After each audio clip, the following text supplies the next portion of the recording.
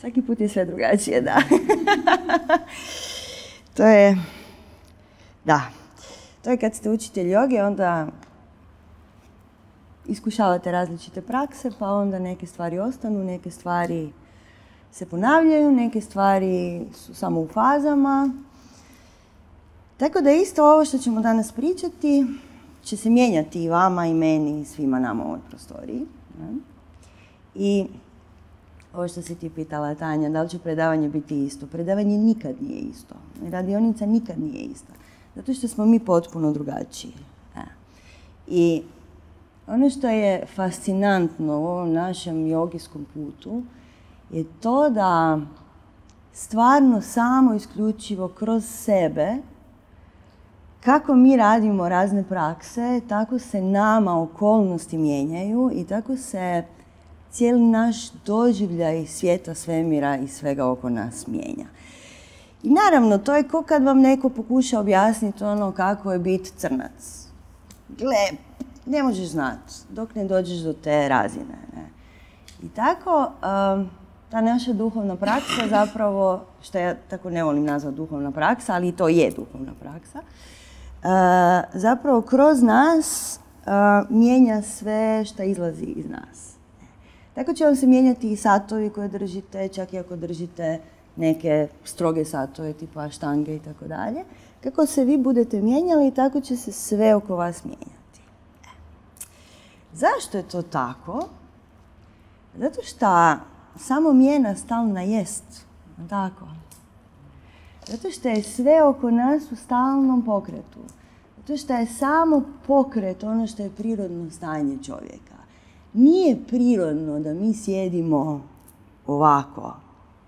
Tako. Nije. I mi osjećamo u trenutku kad nam neko kaže sjedi mirno, mi osjećamo taj, tu frustraciju te naredbe. Tako? Kako da ja stavim mirno? Kako? Sjećam se, jedan put sam otišla u okulistu. Ne? I, uh, frajer mi je rekao, joj, znate šta, vi nećete nikad moći nositi naočale. Je li? To zanimljivo. Kao, je, je, vi se previše krećete, previše se mičete. Ok, a šta misliš, šta to znači? Šta to znači? Mi smo dresirani od kad smo bili mali, da sjednemo u školu i stavimo sve tamo gdje ide, pernica je tu, bilježnica je tu i sjedi mirno. Tako. I onda kako smo mi sjedili mirno, tako što bi se nalaktili, onda bi nam bilo dosadno, onda bi ovako sjedili mirno, tako, onda bi neko došao i rekao, digni se, digni se, evo me, sjedim mirno. Rezultate toga, evo, baš sam u četvrtak malo testirala na satu. A, mislim, ja to testiram često, ali evo, sad je bio prekjučar zadnji test. Dođem i kažem ljudima u onoj prvoj, prvom opuštanju, ne, zatvorenih očiju, sjediš na prostirci i samo se malo pomakni. Samo malo pokreni tijelo, samo malo, malo nađi neki val.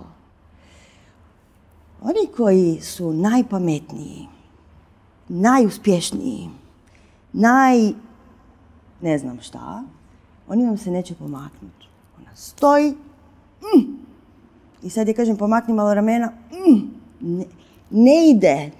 Toliko je ta naredba sjedi mirno, stoji mirno, utkana u naše biće, odgojem, odnosno teroriziranjem, kako to već ide, da mi pokret doživljavamo kao slabost. Kužite? U trenutku kad ti kaže pomakni se spontano, ti zaključuješ ajme, ajme. Šta zaključuješ? Da će taj netko vidjeti tvoj spontani pokret. Ej, nema li ništa ljepše od spontanog pokreta? E, ali naši programi u glavi su čudne, čudne stvari. E. E, mi ćemo danas malkice E, pokušati definirati pokret i način na koji se mi krećemo kroz neke od tantričkih principa. Zato što puno puta smo čuli kako yoga potiče iz tantre i kako cijela naša hata yoga u smislu joge koja se krećemo na prostirci, potječe iz tantra joge, odnosno iz tantre. I tako mi smo spomenuli par tantričkih spisa i tako dalje, međutim naše poimanje tantre još uvijek je nemamo ga. to je zapravo ono što je točno. Mi nemamo poimanje tantre jer se njome većina nas tu nije bavila. Ono što je zajedničko našim učenjima, što ćete čuti uvijek je tijelo je mikrokozmos. Tako. Mi smo to tu na poligonu puno puta pokušali objasniti kroz razne primjere. I međutim, teško je to, teško je to riječima objasniti. Tako. Šta to znači? To zvuči kao neka filozofija, kao tijelo ima mikrokozmos, makrokozmos, neki svemir, tralalala. Je tako? Znači, prvo i osnovno, znači tijelo i pet elemenata. Kroz to smo prošli na nekoj od zadnjih radionica. Znači, osjeti elemente unutar svog tijela. Ja kad to kažem ljudima, ista stvar bude kao ono kako to misliš. Kako to misliš, koji elementi? Znači, koji elementi imamo u tijelu? Šta je trenutno dominantan element u našem tijelu? Vatra i voda. Jel tako? Vatra i voda. Ok, kad udahneš, osjetiš element zraka. Ok, eter osjećate jer čujete ovo što pričamo. Ne? Element zemlje je ono što nas drži na podu. E sad, ono kad mi to sve kažemo riječima, je to jako... Zvuči kao pa da, pa je, pa je. Da, otprilike je. Međutim, sad ćemo svi uzeti svoju bočicu i svjesno popit gutlje vode. Nema što ću ti ja dati.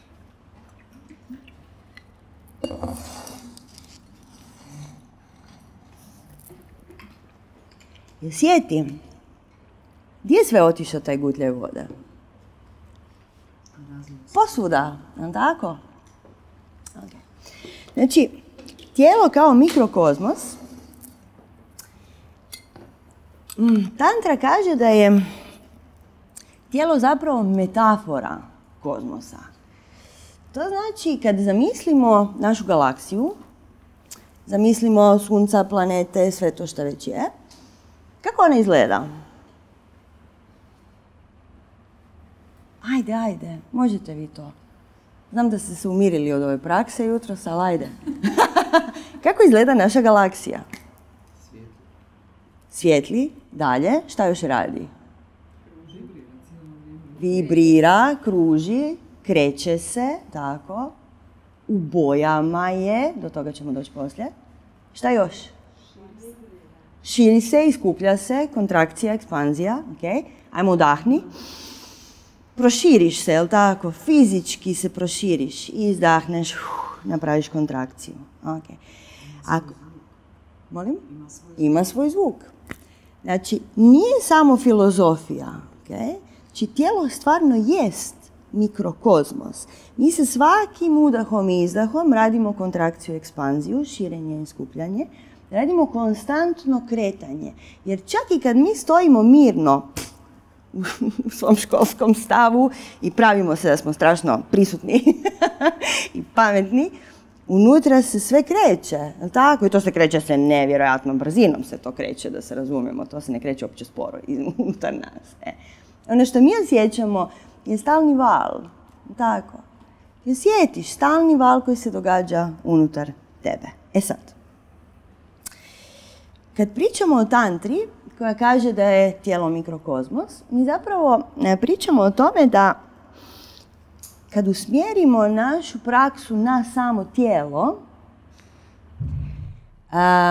zapravo to tijelo postaje centar svjesnosti. Mi ne moramo, ono što sam vam rekla na početku, znači kako se mi mijenjamo, tako se mijenjaju naše okolnosti, tako se mijenjaju naše predavanja, tako se mijenjaju naši satovi, naši odnosi, naš život. Tako.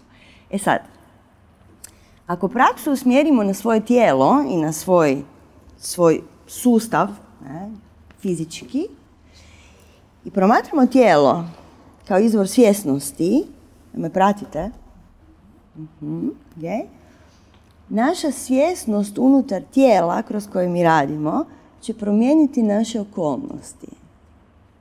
Okay? Promijenit će nam se život tako što utječemo na tijelo. Kužite me? I tako se događaju sve vaše transformacije. Uvijek pitamo, kako se desi da to ljudi upišu poligon i onda im se promijeni život? Gle, ja ne znam kako se to desi. Ja znam ovako, na, načelno znam kako se desi. Samo ti imaš to iskustvo, ali čim kreneš raditi kroz tijelo, kroz pokret, kroz bilo šta, svoje fizičko, tvoje iskustvo života se mijenja i tvoj život se kreće transformirati. Okay? Dobro.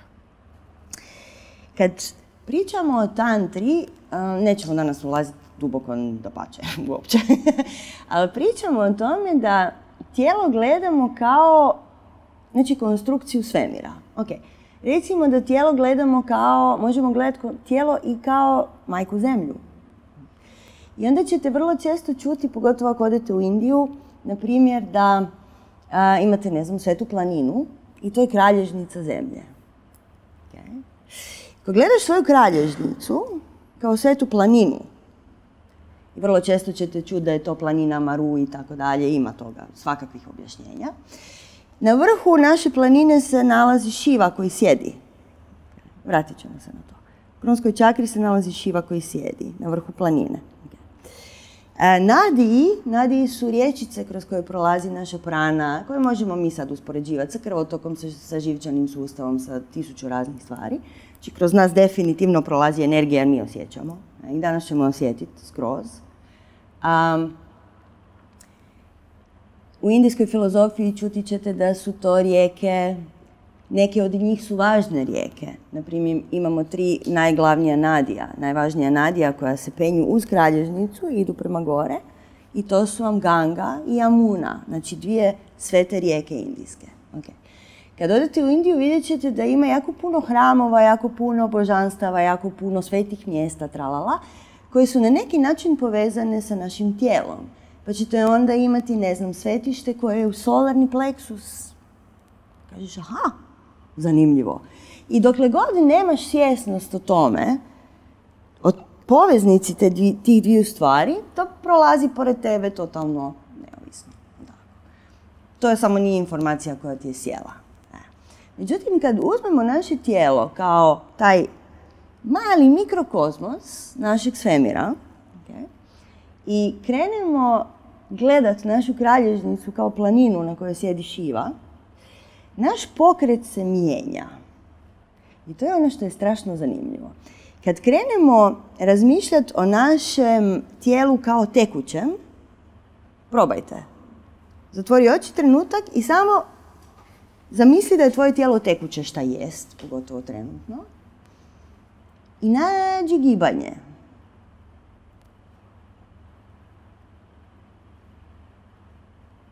Da li osjećaš kako unutar tebe mogu ploviti Ganga i Amuna? I još 72 tisuće riječica ili 300 tisuća ili koliko već hoćeš.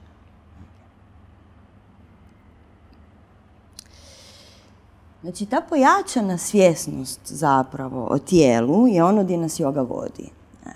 I to je ono što nas zapravo mijenja. Znači, pojačana svjesnost o tijelu, ne morate vi sad sve ove metafore imati, nije važno. Znači, ovo je samo, ovo je teorija, praksa je ono što je na matu i ono što ti to sve skupa da. Super je imati teoriju jer onda razumiješ više pa se možeš više ubaciti u cijelu tu priču. E. ali tehnički ne treba ti teorija. Tehnički. E, 1% samo ti treba teorija. E.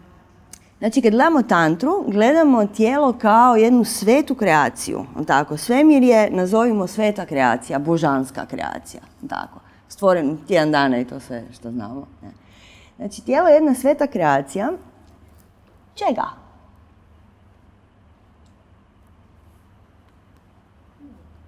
Koji muk je danas? Ovo je baš zanimljivo. A, hm? Energije, dobro, kakve energije? Ne znamo, ne znamo, svih energija, kozmosa, ok. Dobro, kad pitate tantru, tijelo je sveta kreacija šive i šakti, nemanifestiranog i manifestiranog. Što to znači? Nemanifestiranog i manifestiranog. Manifestirano, je tako? Naš element zemlje je manifestiran. Što je nemanifestirano?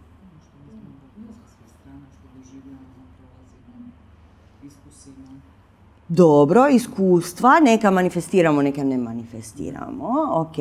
Kad idemo gledati tijelo kao fizičku strukturu, Um može biti manifestiran i nemanifestiran. Znači, stvari koje ti se dogode u umu su se manifestirale. A stvari koje se ne dogode, znači sve silne mogućnosti naše su nemanifestirane. Ali recimo, možemo to gledati ovako. Znači, imaš tijelo koje vidiš. Tako. Sad ja vidim Marka. Da li vidiš oko njega njegov dah? Da li vidiš oko njega njegov um? Da li vidiš oko njega njegovo energetsko tijelo? Tako? Neko da, neko ne. Djeca da. Kad pitate djecu, pogotovo do 3-4 godine, oni vam vide energetska tijela. E. Samo njima to zvuči kao da je to najnormalnije. Naravno da vide energetsku. Mislim, to je kao, to mi je mama, ima zlatni obruč oko glave. Jel tako? e, znači, um, manifestirano, nemanifestirano mi možemo na jako puno načina definirati. Znači, mi pričamo o šivi kao o svjesnosti i pričamo o šakti kao o materijalnom, kao nečim što se uzemljilo, okay. nečim što je fizički, ima, nazovimo fizički oblik. Um, pričamo o muškom i ženskom principu tu. Okay. Pri čemu je ženski princip princip stvaranja, princip materializiranja. Žena materializira dijete. Kužite me, iz čega? iz ideje, da, iz šive. Kužite? Znači, svaka misao koja ti dođe, koju ti manifestiraš na neki način, čak i kad si je pomislio, već si je manifestirao. Znači, ako je provedeš u dijelo, onda si je još žešće manifestirao. Je proizvod šive i šakti istovremeno. Znači, jedno dijete koje rodi jedna žena je definitivno proizvod svjesnog i manifestiranog. Je li to sad jasnije? Znači, ja sam sad čitala malo ispite, od ljudi koji su nedavno pisali. Pa tu ima jako puno filozofije, ali jako malo prakse. Znači, danas ćemo probati ući u praksu, da vidimo mi šta to znači to manifestirano tijelo. Nema tu, jogijska filozofija je prekrasna, ali mi radimo kroz tijelo, okay? kroz tantru, kroz fizičko, kroz nešto što možemo doživjeti. Okay? Um, znači, tijelo je sveta kreacija i, utjelo, i utjelovljenje muškog i ženskog principa. I tu ćete puno puta čuti Shivalingam, Shivin, Shivalingam, ovo vam je mudra inače za Shivalingam i ona vam stoji tu. Shivalingam je Shivin spolni organ, najveći. Shivalingam ima najvećeg. I Joni, Joni mudra vam je tu. Danas ako stignemo se baviti sa mudrama ćemo stići. Ako ne stignemo, nema veze. Znači, postoji u cijeloj našoj tantričkoj filozofiji za svaku ideju postoji mudra. Mudrama ste se bavili koji ste bili kod Lili kad je bil držala predavanje. Za mudru kažemo, a to je neki pečat, nemam pojma čemu to služi. Na, mudra, anđeli mudra, to znam. Čemu služi anđeli mudra zapravo? Kad ti spojiš dlanove, spoj dlanove i, vidim, i reci mi što osjećaš. gurni dlan od dlan i reci mi što osjetiš.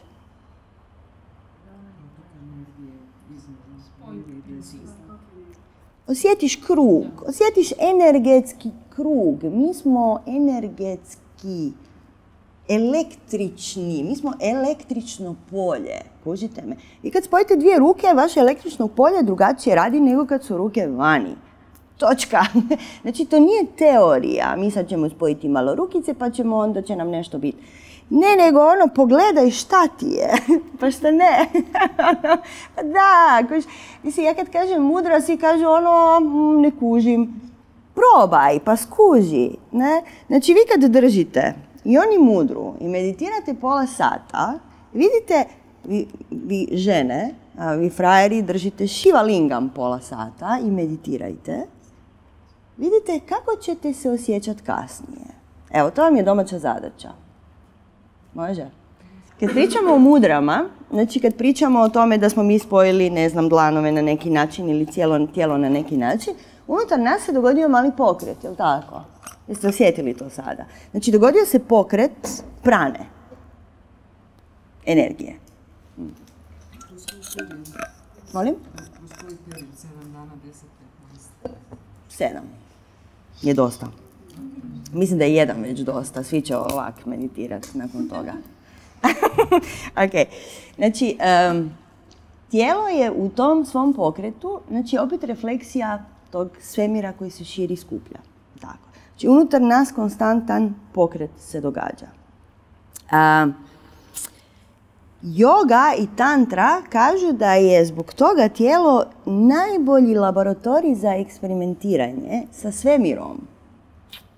I onda dođemo zapravo do ove Serđove teme koju nećemo danas raditi. A to je manifestiranje svoje okoline. Kužite? Znači, dokle god je tvoj flow, znači dokle god ti tečeš na najprirodniji mogući način za samoga sebe, tvoja okolina je u skladu sa tobom.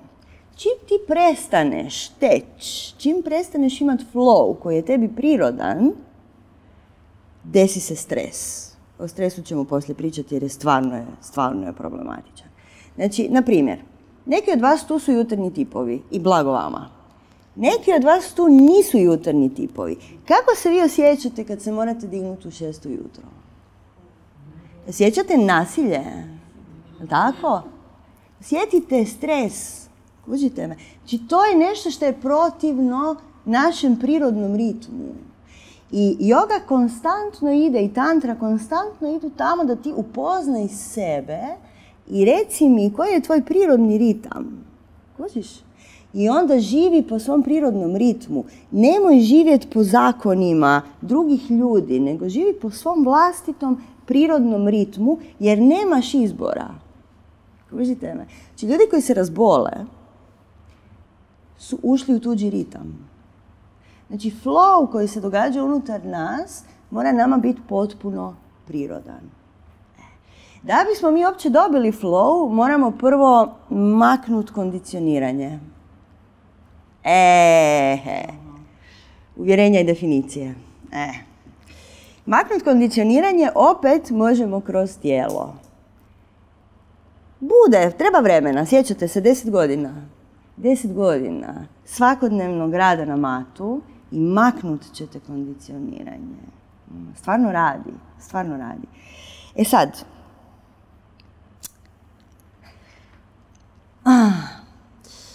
sad ćemo napraviti jednu vježbicu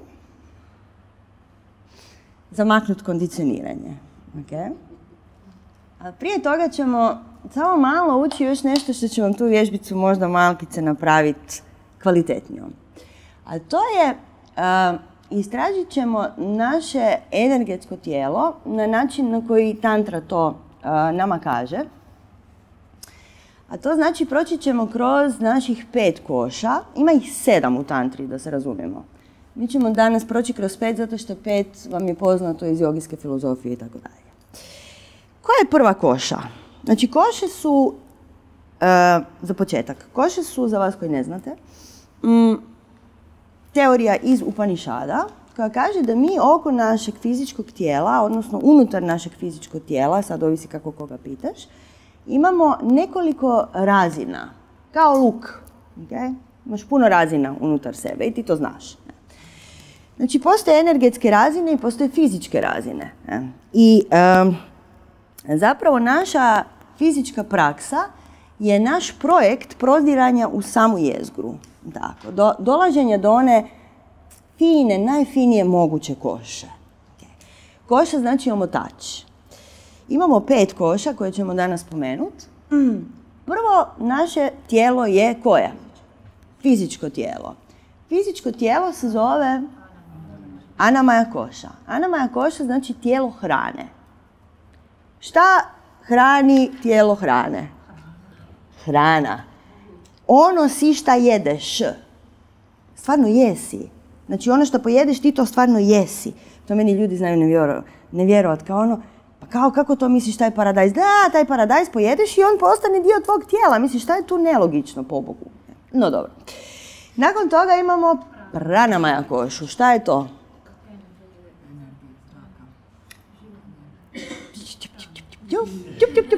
Ok, da možemo to reći kao tijelo daha. Tako? To je ono što radi kontrakciju i pranajama, prana, šta god. Ok, dah. Sljedeće je manomaja koša. Manomaya koša je mentalna koša. Šta je to? Đuro, đuro u nekim svojim razinama, tako? Nakon toga imamo Vijnana Maja košu. Vijnana Maja koša je onaj dio našeg, nazovimo uma, koji je povezan više sa svjesnošću nego sa našim đurom koji stalno nešto priča. Znači kad umirimo um i dobijemo onaj um koji ima inspiraciju, onaj um koji ima neku energiju, koji nije samo buka i rat u našoj glavi, Ma da, to je ono kad si dobar, kad nemaš buku u glavi, kad smisliš neku dobru ideju, kad si mudar zapravo, ne, kad znaš kako reagirat, kad imaš ono vrijeme između akcije i reakcije i tako dalje. Mudrost, nazovimo to tako. To je puno različito u odnosu na džuru. Džuro i mudrost e, nisu ista stvar. I imamo Ananda Maja Košu. Ananda Maja Koša čut ćete kao tijelo blisa, odnosno blaženstva. Šta je to? Dajte mi primjer. Kad smo mi u Ananda Majakoši? Kad smo zaljubljeni dalje. Kad doživimo ogromnu sreću, ne znam nečega. Ogromnu sreću, orgazam, tako. To nećemo, ne, to nećemo, to, to, o tome nećemo ni pričati, jel tako, naše društvo o tome ne priča a ljudi koji to imaju su zdravi, a ljudi koji to nemaju nisu zdravi, što ćemo s tim? No dobro, nema veze. Blaženstvo se događa kad si u transu, kad si u ekstazi, kad odeš plesat, kad plešeš četiri sata u komadu, tako. Kad odeš na ceremoniju koja ti je toliko fantastična i onda pjevaš ili nemam pojma šta ti se događa. Tako je. Znači, to je Nanda Maja Koša. To nije ništa izvan nas. Okay? Hm? Kad skijaš. E, može, super, da trčiš za nekoga. Ne?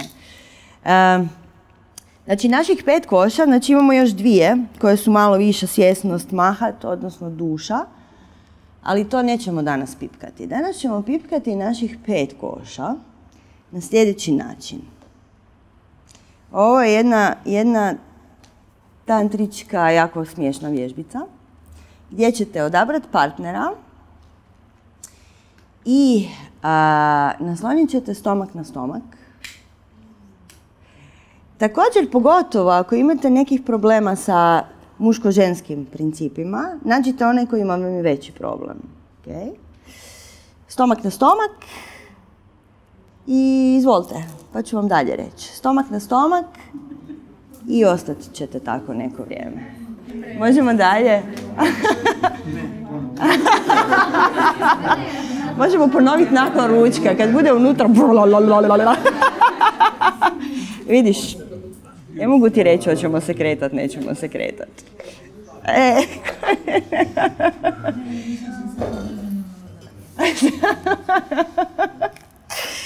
e, dakle, jeste primijetili?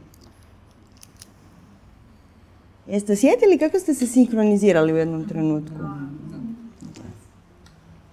Znači, to je prirodna želja našeg tijela je da budemo u skladu mm. sa kojim god ritmom da dođe. Ritam može doći izvana. Naprimjer, ako je zima, skroz ćeš drugačiji imat tok unutar sebe, skroz ćeš drugačiji flow imat nego kad je ljeto, evidentno. Tako. e, znači, bilo koja okolnost koja dođe izvana, tvoje tijelo se pokušava uskladiti s njom. To je biće. Kad kažem tijelo, mislim na sve naše koše. I mi kad pričamo o jogi, kad pričamo o vinjasi, mi zapravo pričamo o tome da želimo uskladiti naše tijelo, naše fizičko bivanje sa našim flowom trenutnim. I svaki dan je naš flow skroz drugačiji. Svaki dan je sve oko nas potpuno drugačije. Nema dva ista dana. nemamo dva ista dana. E. I ono kako to radimo kroz našu praksu jogijsku je zapravo, mi smo do sad prošli na poligonu vinjase za doše, vinjase za, ne znam, kad se želimo umiriti, vinjase kad se želimo dignuti tako dalje tako dalje. zapravo ono što je ključno je da ti prvo i osnovno ujutro kad se digneš prepoznaš svoje stanje i uključiš i mental da znaš šta će ti se taj dan događati da bi mogao odabrati svoju praksu. I mi sad pričamo ovdje o naprednoj praksi. Vi naravno morate proći onaj prvi dio kad svi imamo neki režim rada, dok tijelo ne dobije disciplinu i tako dalje i tako dalje. I to imate godinu dana radite štangu, da razumijete o čem se radi, da shvatite kako tijelo radi i tako dalje. Međutim, u trenutku kad krenete u vinjasu, znači u trenutku kad vi krenete stvarati svoj flow, to znači da sebe potpuno razumijete. Da li netko u ovoj sobi sebe potpuno razumije? Jel tako? e, ali, ujutro kad se dignemo, imamo šta prvo za raditi? Krije, ok. Šta imamo nakon toga za raditi? Sjest u meditaciju. Šta svi jogi ne vole, jer mi bi se stalno kretali.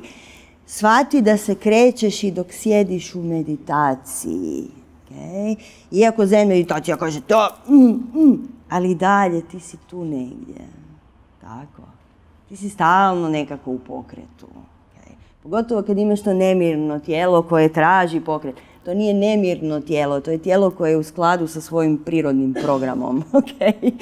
Znači, sjediti u meditaciji znači pripremiti se za taj dan. Ne znači, ajme majko, sad ja moram 15 minuta gubiti vrijeme nego sjedneš da vidiš kako je danas, kako će ići tvoj flow danas. Kako, kako radi moje tijelo. Sad ćemo istražiti malo i kako stvarno radi naše energetsko tijelo, ali znači ti svaki dan sjedneš ne bi li dobio informaciju, aha, vidi, vidi, danas tako nekako sam tu začepljen, ono, i ne da mi se, i prerano sam se digla i ono, ok, treba mi praksa, znači da propuše ovaj centralni dio i da se probudim. Šta ću raditi za to? Što? Pa, nešto šta je, dakle, jako ovisi o tebi samom. Znači, ne, postoji točan odgovor. Ne postoji jedan odgovor. Postoji koliko nas tu ima, toliko ima odgovora. Razumijete me?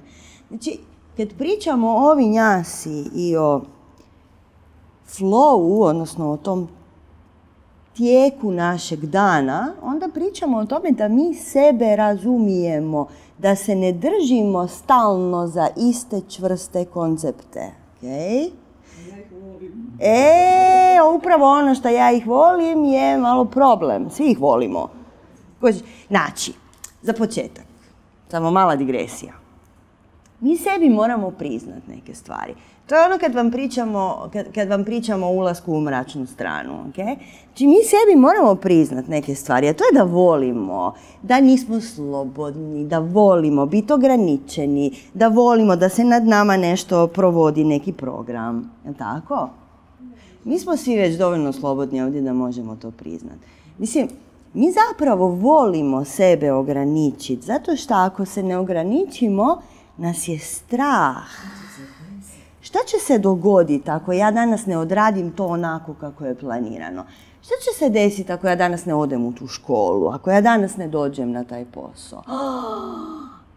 Drama će se desiti, jel tako? Volimo mi i dramu. Drama je isto dio tog našeg crnog, crnog dijela. Tako? Znači mi moramo sebi prvo i osnovno priznati da sve što se nama u životu događa, se događa zato jer mi to tako hoćemo. Okay?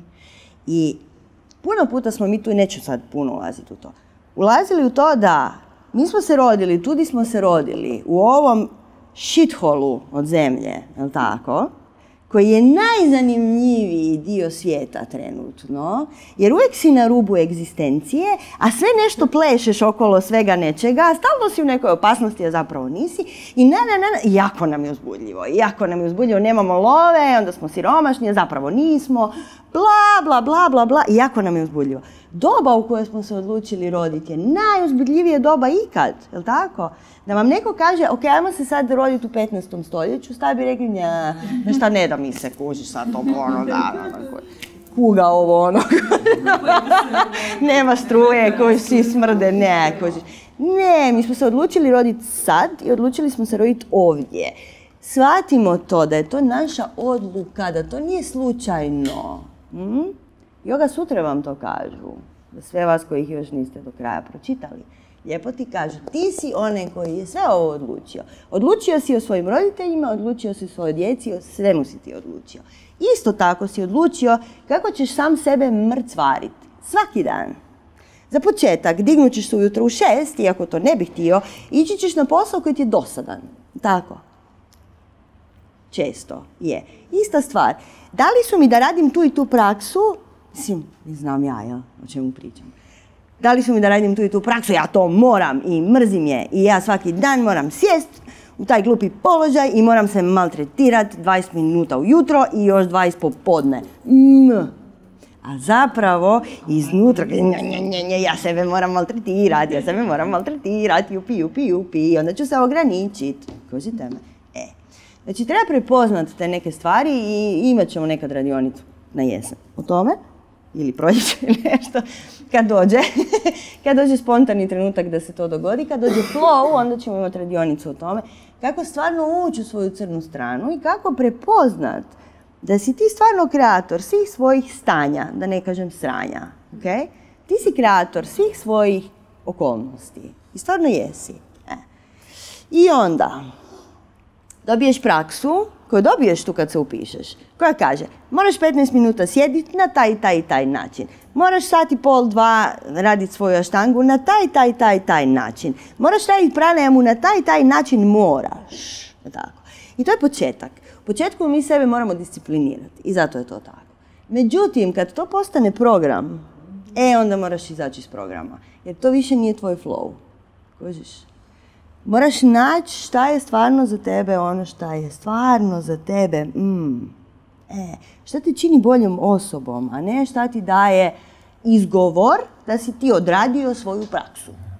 Jel tako? Koliko sam ja godina znala sjedit, a unutra kipi, kipi, svašta se događa unutra, ali sjedim, ja sjedim, uredno ja sjedim i ne mičem se. tako. Znači, svi prođemo kroz različite faze prakse, ali nemojte se hvatati ni za jednu. Okay?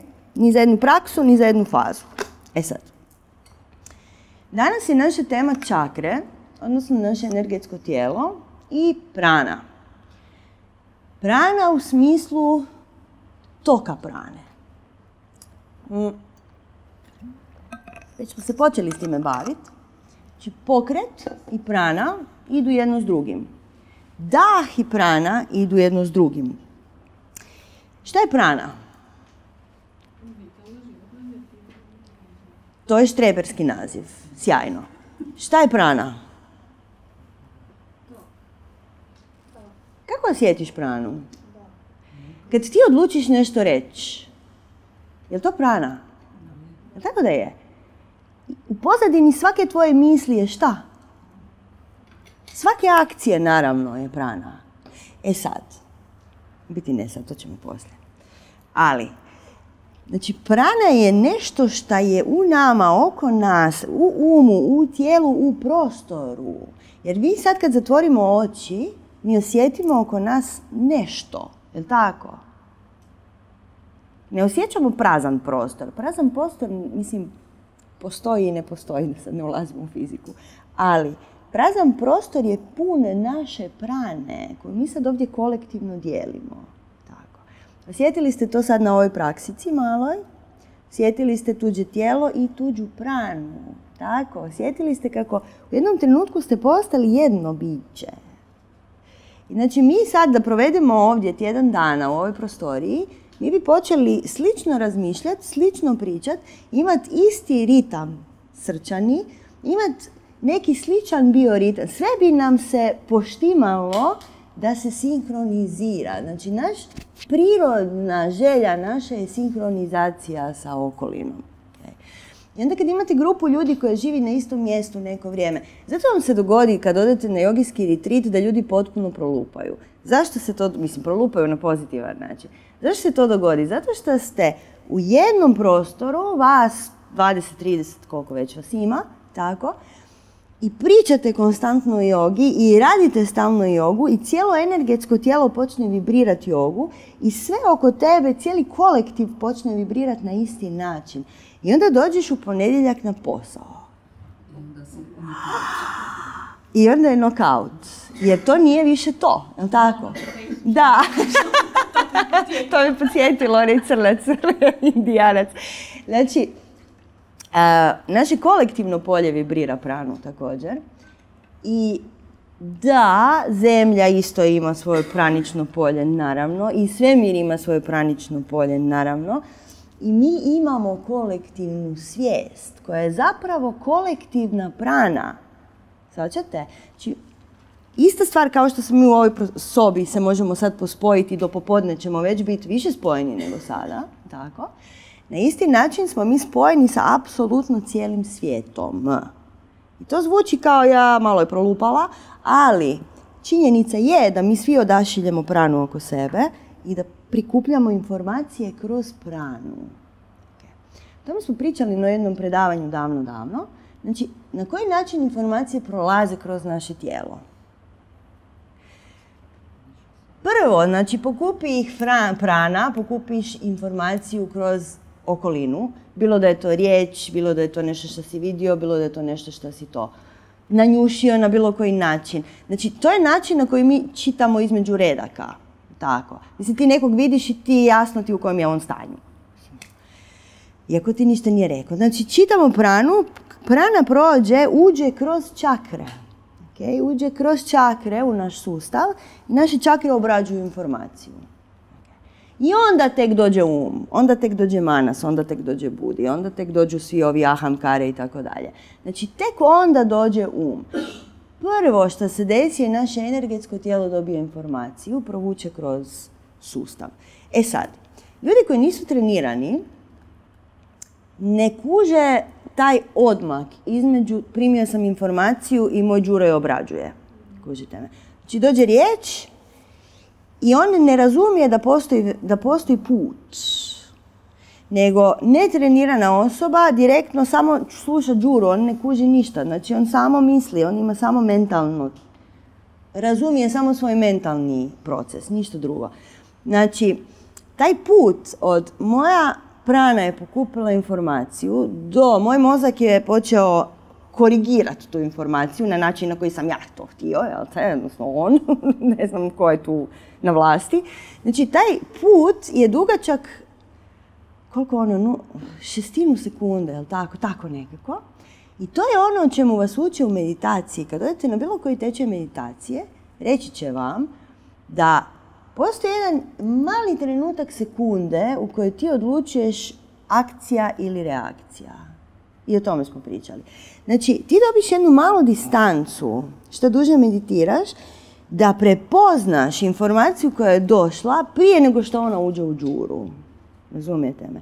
I zato, kad se bavite dugo jogom, imate razvijen taj suptilni osjećaj za suptilno tijelo, vam je više poznato, nije ni razvijenije ni ništa, nego jednostavno znaš ga prepoznat. Ti možeš puno, puno ljepše pričati s ljudima, puno bolje razumjeti, imati puno više saosjećanja, imati puno više razumijevanja za cijeli svijet. Zašto? Zato što Đuro ne dekodira prvi, nego ti razumiješ da informacija koja tebi došla, vidiš je već kako ide kroz tebe i aha, i onda tek dođe razum. Jeste to skužili? Okay. Imate puno knjiga napisanih na tu temu koje nisu jogijske imate Malcolma Gladwella. Blink se zove knjiga, mislim da smo nekad ispomenuli čak. Ne znam, ima i prijevod na hrvatski, ne znam kako se zove. A, gdje on piše o tome kako mm, ljudi koji se bave umjetninama, u trenutku kad vide nekakav kipić ili sliku, znaju da li je to pravo ili nije. E, ali znaju prije nego što Đuro krene, prije nego što um krene. Jer čim um krene, on krene racionalizirati, to je njegov posao. Znači krene u objašnjenja, razloge, izgovore i ostalo. Tako. Znači prije toga postoji onaj jedan dojam. Kad mi kažemo na prvi dojam, to nije um. Tako. Znači to je taj put koji dođe, znači kojim informacija dođe do nas. E sad. Da pojednostavimo danas stvar, dosta pojednostavimo, uzet ćemo da ta informacija prođe kroz naše čakre. Šta je čakra?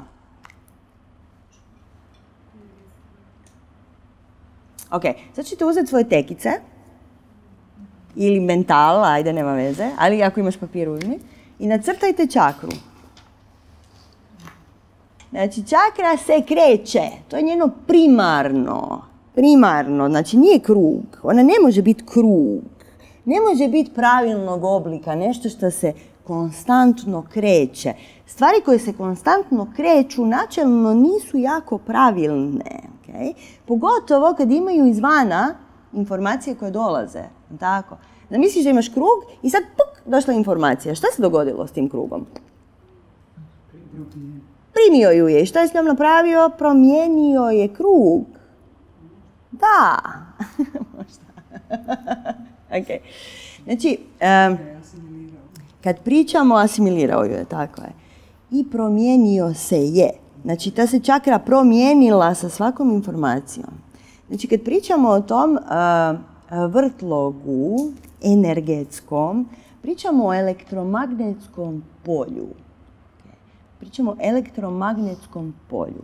Pričamo o vibraciji. Pričamo o nečem šta privlači drugu vibraciju. Jel ste to skužili? Znači ovo je sad kad smo se grlili. Skužili ste taj sinhronicit, odnosno taj sinhroniziranje koje se dogodilo. Kako se to dogodilo? Sinhroniziranje daha, sinhroniziranje srca, kako se to dogodilo? Drugi, jednostavno utječe i onda počinje polagano da se prilagođava. Tako je. Znači, energetsko tijelo se pokuša prilagoditi drugom energetskom tijelu i dolazi do usklađivanja. Zato, zato vam sretne ljubavne veze, ti ljudi koji su u paru dugo vremena, počinju sličiti jedni na druge. To ste skužili? E, znači, ljudi koji su puno skupa, njihovo energetsko tijelo vibrira slično. Znači, čakra je nešto što privlači izvana. Znači, to je vrtlog. I kad kažemo vrtlog, onda ljudi meni to nacrtaju ili napišu u ispitu kao to je energetski kotač. Da, ali šta radi vrtlog? Šta radi vir u vodi? Privlači stvar, kužite me. Znači, kad su naše čakre otvorene i zdrave, ne privlače informacije iz okoline. Kužite? Više nego kad možda nisu tako aktivne. Šta mislimo o tome? Logično, je li tako? Ok. E sad, svaka od tih čakri, kad idemo gledati teoriju, znači pročitali smo milijardu i osamsto knjiga o čakrama i to vam je sve bez veze. Treba je osjetiti. Znači možemo mi čitati i pričati do sutra. Ali evo, probat ćemo danas nešto, nešto osjetiti od toga. Sad ja sam jako optimistična uvijek kad krenem s tim. Ja ću danas napraviti da oni to osjete. Onda mi Sergio kaže, ne, ne. možda si malo pretjerala, ali ajmo probati. Znači, i kad idemo čitati o čakrama, uvijek ćete čuti, čakra ima svoju boju, čakra ima svoj zvuk. Tako, čakra ima zvuk. To je činjenica. ima svoju funkciju. Tako, mi imamo neku definiciju šta ta čakra nama radi. I donekle smo u pravu. Tako, donekle. E. Ima element, element koji je najviše privlači. Element zraka najviše privlači tvoju srčanu čakru. Doći ćemo do toga poslije. ima svoju psihološku i fiziološku funkciju, odnosno psihosomatsko objašnjenje. Vi kad dođete sad kod doktora po novome, navodno, i naša zapadna medicina je krenula napokon razmišljati o tome što oni zovu psihosomatski poremećaji, što je točno, kao nečem šta bi možda ipak moglo biti uzrok raznih poremećaja. Znači, došlo je, evo, 21. stoljeće, nismo jako kas, okasnili. Inače, jako vam se zanimljiva stvar događa da znači, te naše istočnjačke znanosti koje mi volimo se spajaju sa ovim našim znanjima zapada jako se zanimljive stvari počinju događati u smislu nadogradnje starih znanja. Jako, jako dugo nismo imali nadogradnju starih znanja i zato istočnjačke drevne znanosti, ne, joge, tantre, ovo ono, su bile takve kakve jesu. Tradicionalno se radi to i to, bez da razmišljamo zašto se tradicionalno radi to i to, nego tradicionalno se radi to i to i nemamo pojma zašto i nema veze radi. E, djeluje, pa ok. Međutim, sad kako naš zapadnjački um, koji je puno više sklon tome da analizira, da secira, da proba objasniti, da, da si nekako skuži to i plus naš žita- ritam života stvarno je drugačiji. I kad odete u Indiju, gle, oni imaju, vrijeme je drugačiji koncept nego tu. E, da ne kažem da ne postoji, ali vrijeme ne postoji kad se s nekim nešto dogovoriš, vrijeme ne postoji. E. A inače postoji. Stare i oni. E. E, znači, taj spoj naših zapadnih, zapadnih i istočnih e, znanosti sad nam stvarno daje puno više safta, puno više nekih novih ideja. ne. I recimo,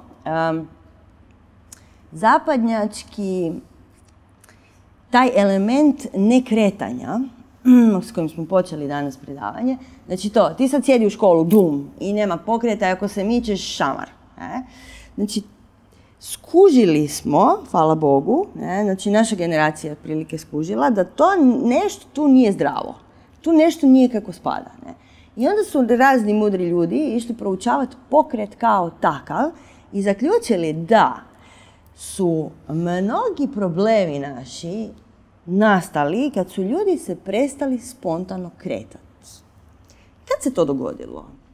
Kad si ti morao odjednom puf sjedit mirno? Znači, spontani pokret se počinje događati i počinju se događati ti, e, ta istraživanja znanstveno, baš ono, kretanja kao takvog. Anyway, znači spoj naših zapadnjačkih znanosti i tantre, joge i ostalih stvari, sad vam radi jednu jako, jako zanimljivu nadogradnju svega onoga što smo znali prije. No dobro. Da se Tehnologija je napredovala da se može neke stvari samo... izmjeriti, objasniti, da, gle, mislim ti možeš gledati srce kako kuca i mozak kako radi nekom živom čovjeku, to nisi mogao prije, ne. Um, da, nisi mogao ni gledat, nisi imao ekrana dovoljno. no dobro. Anyway, čakre. Mi znamo naših sedam osnovnih čakri, jel tako? Jel znamo? Ajmo, ajde, ajde da vidimo, jel znamo. Prva čakra se nalazi gdje?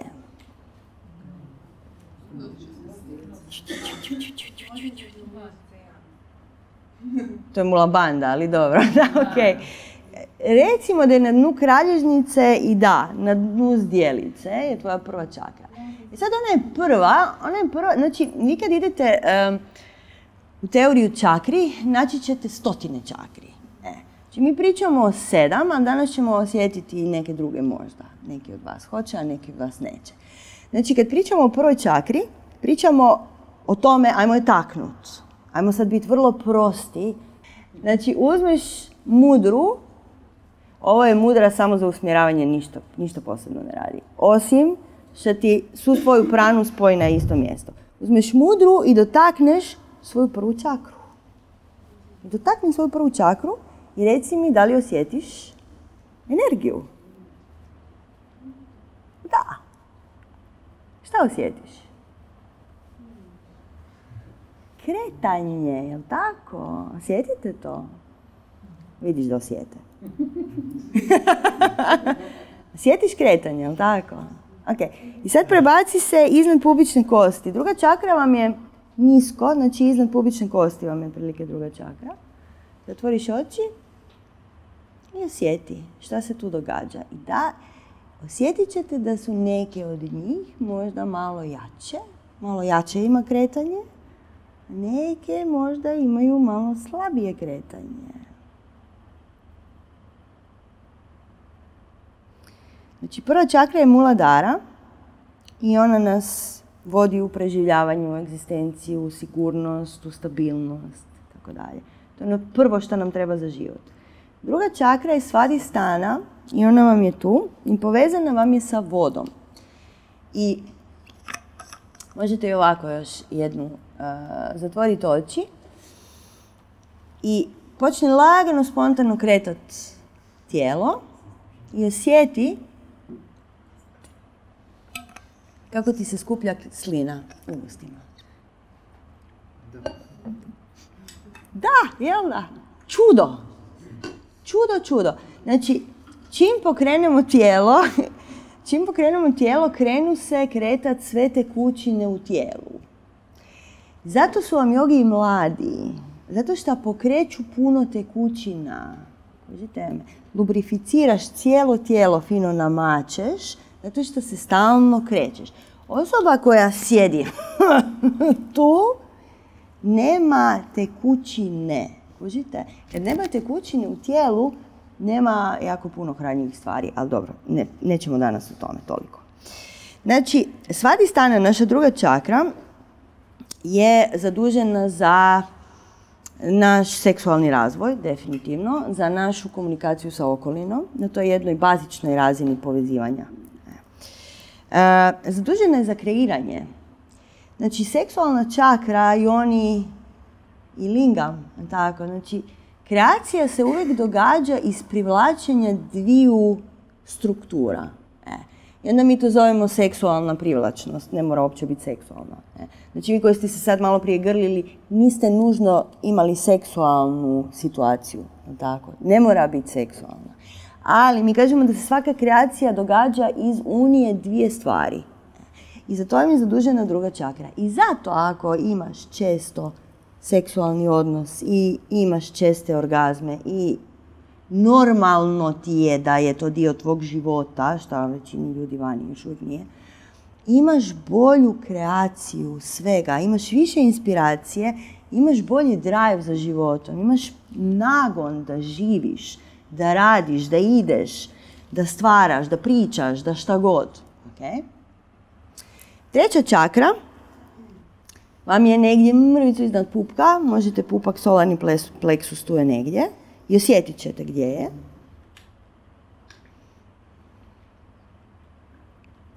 Naša manipura je zadužena za naš osobni identitet.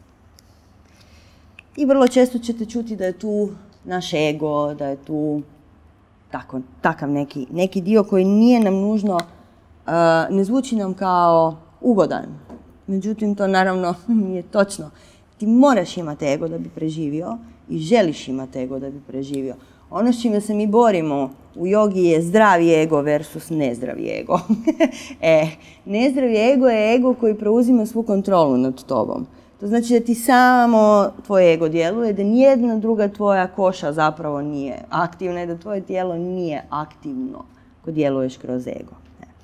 Anahata nam je srčana čakra, famozna. I da, ona je zadužena za ljubav u svakom smislu. Za onu pravu ljubav nesebičnu, ne samo privlačnu, ne samo seksualno privlačnu.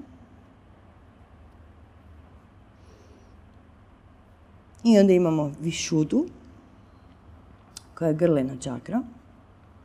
Grlena čakra, često ćete čuti da je to čakra komunikacije i tako dalje.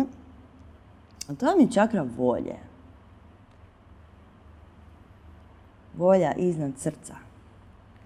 Čakra volje znači da ti komunicirajući sa okolinom na neki način provodiš svoju volju. E sad to zvuči loše jer mi imamo lošu konotaciju na to provoditi svoju volju. Ali provoditi svoju volju je ono što ti radiš stalno. Okay? Znači ti konstantno upravljaš svojim životom kroz svoju volju. E sad, ako je tvoja komunikacija jasna, tvoja volja je jasna. E, vratit ćemo se na to možda danas. Ađna, famozno treće oko, Ađna čakra, treće oko. Inače, između ađne i krunske čakre, malo prema unutra imate soma čakru, koja vam je mjesečeva čakra, s kojom se mi ne bavimo previše u jogi. Ali tu su vam zapravo dvije čakre koje su vrlo, vrlo snažne i zato znaju ljudi u nekom trenutku, vrlo često mi znaju doći ljudi i reći joj Sanja, znaš, meni se tu nešto događa, imam osjećaj da mi se probudilo treće oko. Da, ok. da, desi se da odjednom počneš imati jasnije snove, odjednom počneš imati jasnije ideje o nekim stvarima i tako dalje i tako dalje. To je definitivno tvoja ađna čakra i možda i tvoja soma čakra su na neki način počele biti aktivnije. Soma čakra vam je baš vezana za predictions, kako se to kaže? Kako? Predskazanje. Predviđanje, da. Ali predskazanje je zapravo ono što sam htjela reći. Znači, stvari koje se još nisu dogodile, nego će se tek dogoditi. Pa ti, otprilike, naravno da možeš razumjeti šta će se dogoditi. Gled, jasno ti je šta će se dogoditi. To nije ništa izvan nas, hoću vam reći. Znači. Da, da. Intuicije i tog prisutnosti. Da, da ne one intuicije koje ide iz solarnog plexusa, nego intuicije mentalne, ali ne mentalne u stvari, nego... To je zapravo centralna anahata intuicija. E. I onda imate krunsku čakru gdje sjedi šiva. Šta to znači sjedi šiva? Na vrhu planine tvoje sjedi šiva. Šiva je nemanifestirani svemir, tako? Znači, kroz tvoju krunsku čakru, u tvoje fizičko tijelo, tako ćemo to reći, ulaze informacije iz kolektivnog polja. Znači, naša kolektivna prana radi kolektivno polje i kroz tvoju krunsku čakru ulaze informacije unutra. E sad, iznad nje imamo još nekoliko čakri koje možda možete osjetiti. Neki od vas će osjetiti, neki neće. Znači, negdje otprilike tu, evo je, tu imate još jednu, osjetit ćete toplinu. A? Da. I još imate jednu koja je full, full se može osjetiti, jednu tri dlana otprilike oko visine. Pa samo je nađeš. Evo. Kužite je? Kako zrači. Da kad odeš dolje i gore ne kužiš. Nema. Kad točno na Ne, ne, ne, točno na mjestu. Na jednom jednom mjestu to je to. I to je otprilike tu negdje. Ne? Ok? Eh, znači čakre imate naravno na dlanovima, na stopalima. Zato ne okrećete nikad stopala učitelju. To sam vam pričala više, više puta. Znači stopala nikad ne okrećeš učitelju zato što kroz tvoje tabane, kroz tvoje čakre na stopalima izlaze tvoje, nazovimo neke stvari koje nisu tako ugodne za osobu. Nije pitanje učitelja, nego mi zapravo ne bi trebali nikad sjediti okrenuti stopalima nekom drugom. I zato se u šavasani okrećemo sa glavom prema učitelju. E. Iz poštovanja. A s druge strane, gle, stopala ti piće u onog iza, ispod tebe, ali dobro. I to direktno u njegov šiv, taj nije bitan, direktno kroz njegov šivin kanal ulaze unutra. Ne? No dobro, zezam se. To je simbolika. Ne? Najbolje da, najbolje da visimo napačke u šavasani. E. E, jel vam moram napisati ove čakre, jel svi znate? Može, jel da? Ajde, samo ću brzinski to. Znači, Muladara, Svadistana. Sva vam je inače svje- svjesnost. Svadistana vam znači on, a, dio tijela u kojem je svjesnost. Pazi to. U drugoj čakri. A, manipura. Manipura znači dragulj, ja mislim svjetleći ili tako nešto. Znači, tvoj ego je svjetleći dragulj, tvoj identitet je svjetleći dragulj. Kužiš? To nije nešto loše. Loše je samo kad samo on svjetlije, ništa drugo ne svjetlije. Anahata, srčana čakra, inače znači e, nedotaknuta, nedodi- znači to je bezuvjetna ljubav. Ti mi možeš napraviti šta god hoćeš, ali ja ću te i dalje voliti. Em, Višuda, Ađna i Saha Srara. Ok. E, ove druge vam neću pisat, zato, vam, zato što e, ovisno o različitim tradicijama vidjet ćete različite nazive. Oko ovih sedam smo se više manje dogovorili, ne? sve ove ostale sva- svakako se zovu. Ne? Em, Plus u principu, cijela ta znanost od čakra vam, vam dolazi iz tantre, koja je jako, jako, jako široka. Znači, tantre ima svakakve. Znači, imate to bijelu, crvenu, crnu, ove laičke podjele, to je bedasto, ali nema veze. E, imate cijeli dijelove tantre koje se bave magijom, imate dijelove tantre koji se bave čudnim ritualima, imate svakakve dijelove tantre, tako da ćete čak i u samoj tantri naći svakakvih različitih objašnjenja. Um, znači, svaka od ovih naših sedam čakri, sedam e, energetskih struktura, inače kako vam one izgledaju? One vam ja znam često čut, ljudi me znaju pitati, joj, znaš, stražnja strana moje srčane čakre. Dakle, postoji neka objašnjenja i neke slike čak, da čakre idu naprijed i natrag.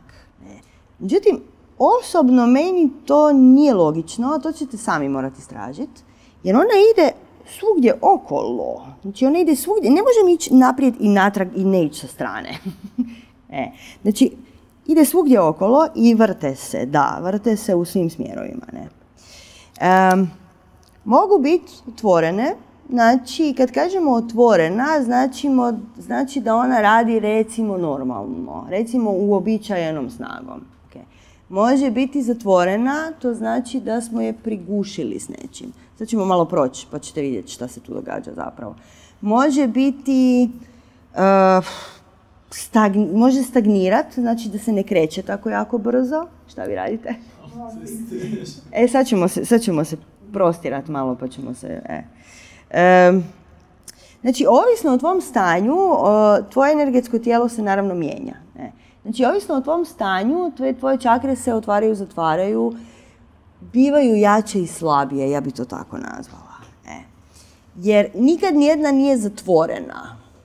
I sad ste vjerojatno primijetili kad smo išli taknut, znači kad vidite taknut nešto, automatski se svjesnost preseli tu di, di ste takli. Ne? Osjetili ste vrtlog, osjetili ste kretanje. E. Osjetili ste da možda nisu sve jednako aktivne. Tako? Jeste primijetili? Nisu uopće nisu uopće jednako aktivne, da, ne, ne, nisu. da, kako njih aktiviramo? Aktiviramo ih, poslije ćemo, mislim sad ćemo pričati o praksi kojom ih aktiviramo, ali ono što zapravo moramo znati je da uh, svaki dan moramo raditi uh, kontrolu našeg energetskog tijela. Na primjer, kad negdje otputujete, i krenete raditi kontrolu. Ja sad neko vrijeme radim tu kontrolu. Ne. Negdje otputujete i stavite si, stavite si ruku na prvu čakru i ono ne radi. Čovječe. Zato što čim otputuješ, tvoja prva čakra je u problemu. Jer ti si nesiguran, ti nisi stabilan, ti nisi siguran, ti jednostavno negdje si drugdje. I naravno da tvoja prva čakra ne radi dobro.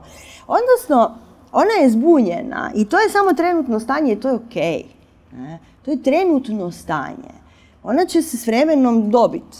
Ili ćeš se ti vratiti doma i sve će biti ok. Ali u principu ne, ono. Ono što je malo teže za je kad je ta čakra, taj centar dugo vremena u nekom mm, prigušenom elementu. E, a to nam se svima događa zbog e, okolnosti, odnosno našeg tumačenja okolnosti, odnosno našeg ne, naše neslobode da djelujemo na okolnosti. E. Znači, e, kad, na primjer, znamo da naša druga čakra ne radi dobro, znači cijeloj našoj, nazovimo civilizaciji, druga čakra ne radi dobro. Znači, naša kreativnost nije kvalitetna i naravno jedna stvar su ludi slikari. Ali pazi kako mi to definiramo. Sa ludi slikari. Kožiš? E. ili ne znam, ljudi koji su muzičari, onda im ja cijeli život zavidim. Oni imaju stalnu kreaciju, ne, muzika pogotovo je stalna kreacija. Ali u principu, znači, naša druga čakra je začepljena sa našim nekretanjem. Znači, ovo kretanje, skužili ste voda i kretanje. Znači druga čakra vam je vezana za vodu. Prva čakra vam je vezana za zemlju i to vam je, simbol vam je trokut ili kvadrat. Znači kad idete gledat e, kako izgleda prva čakra, imat ćete i trokut i kvadrat. Kvadrat je simbol zemlje u smislu da ima četiri strane, imamo četiri strane svijeta, gore, dolje, lijevo, da, da, da, da. Neke strukture. Ok? Nešto što je čvrsto, nešto što je onako to, strukturirano i uredno. To je simbol zemlje. A, trokut je simbol tijela u svetoj geometriji. Znači, kad mi sjedimo ovako, radimo trokut. I zato vam se ovako meditira, između ostalog. Zato što trokut je savršeni a, oblik sa najmanje moguće strana. Znači, najjednostavniji mogući savršeni oblik. E. Druga čakra vam je okrugla. Zato što je njezin simbol voda. I sad ste skužili, znači u trenutku kad se pomakneš, krene voda, krene slina, krenu tekućine u tijelu. Tako. Znači, cijela druga čakra nam je vezana za vodu i za tekućine i za kretanje. Mhm. I spontani pokret. To nije racionalizirani pokret. To je spontani pokret. To je spontana akcija prema drugim ljudima. Mhm. Da ne, da ne. Jel imamo spontane akcije prema drugim ljudima? Mi u ovoj sobi da. Ali vi trebate vidjeti kad nas dvoje tamo uđu u dućan i ja se svaki put zapričam s nekim u tom dućanu, to bilo di, ja prodavačice, ovo, ono.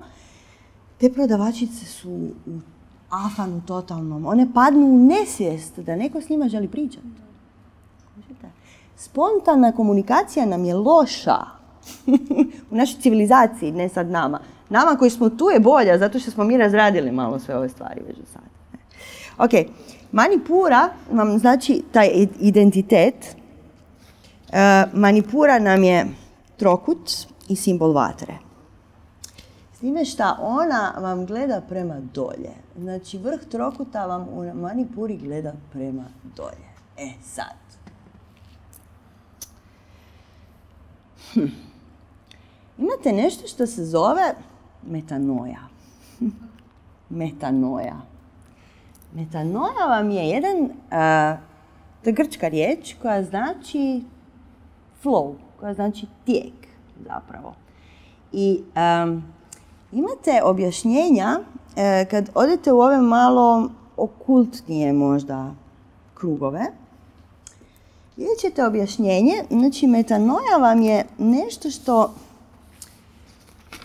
preokreće tijek. E sad, znači manipura gleda prema dolje. Naša treća čakra gleda prema dolje, druga je posvuda, ok? Prva je stabilizirana u prvoj čakri. E sad, znači treća gleda prema dolje i između treće i četvrte je strahovita razlika u našem ponašanju. Strahovita razlika u našem pristupu životu. Um, Znači, gornje čakre naše imaju tendenciju ići prema gore. Znači, gornje čakre su vam srčana, ta, nazovimo komunik, voljna, intuicija i ne znam šta, inspiracija. Svi gore, jel tako? Tri donje čakre imaju tendenciju gledati prema dolje. Međutim, kad naša treća čakra, koja je ego, gleda prema dolje i gleda, da se razumijemo, naš ego gleda prema dolje, on se znači brine za našu egzistenciju, tako. On se brine za to da mi preživimo na zemlji i ne želi čut ove gore. Kužite, ne? Jer gleda prema dolje. E sad, taj pojam metanoje a, je jedna ideja iz a, to, nekih okultnih st- studija, ma- mada mm, i u Bibliji ćete to naći da sad ne ulazim previše. Ali, znači, donje čakre streme prema dolje, gornje čakre streme prema gore, a srčana čakra ostaje bez klopice. Ona ostaje bez hrane, ona ostaje bez energije.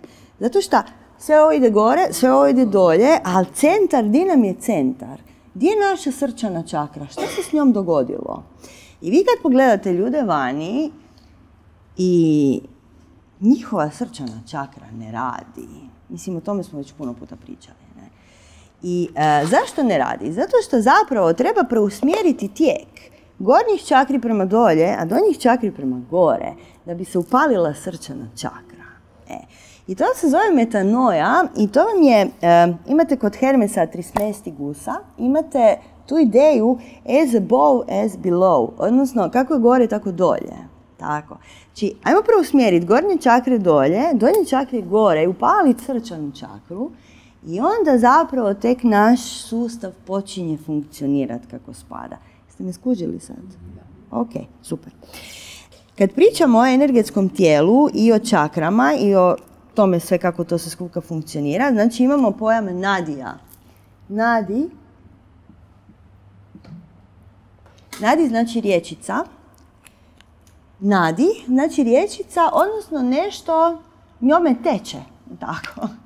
Njome teče prana. E, znači, Nadija u tantričkoj teoriji imate 72 tisuće ili 300 tisuća ili beskonačno mnogo i tako dalje i tako dalje. Ovisi koga pitate i potpuno je nebitno. Imate 14 glavnih nadija i imate tri apsolutno osnovna nadija koja svi znamo. Da. A to su šušumna, ida i pingala. I ovaj znak koji je znak za šta? Za ljekarnu.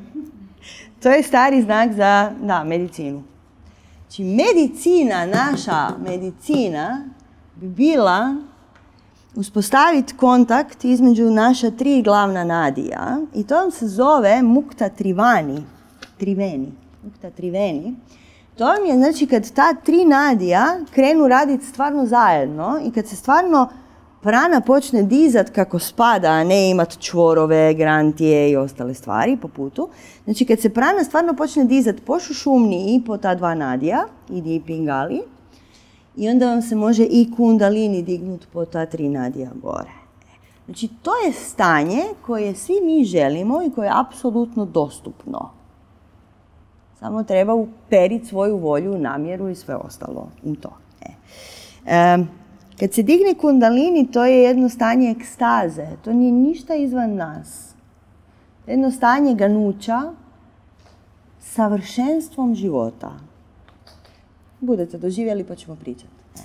Ali, znači nadi su nam bitni da znamo čisto teorije radi. E, su ti kanali kroz koje teče prana. I kad kažemo emocija, to je nešto što je u pokretu, tako? Znači i emocije teku u našim nadijima. Tako. Emocija znači da je to energija u pokretu. Znači ako emocije teku našim nadijima i naša prana teče našim nadijima, a naša kontrola naših nadija je kakva?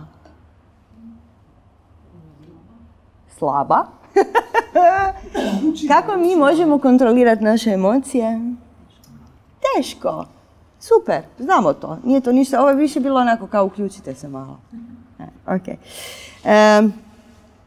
dobro, znači imamo idu pingalu i šušumnu, za vas koji ne znate. Ida vam završava na ljevoj nosnici. Pingala vam završava na desnoj nosnici. Ida i pingala. Tako, tako kako je hrvatski. Evo ga, Ida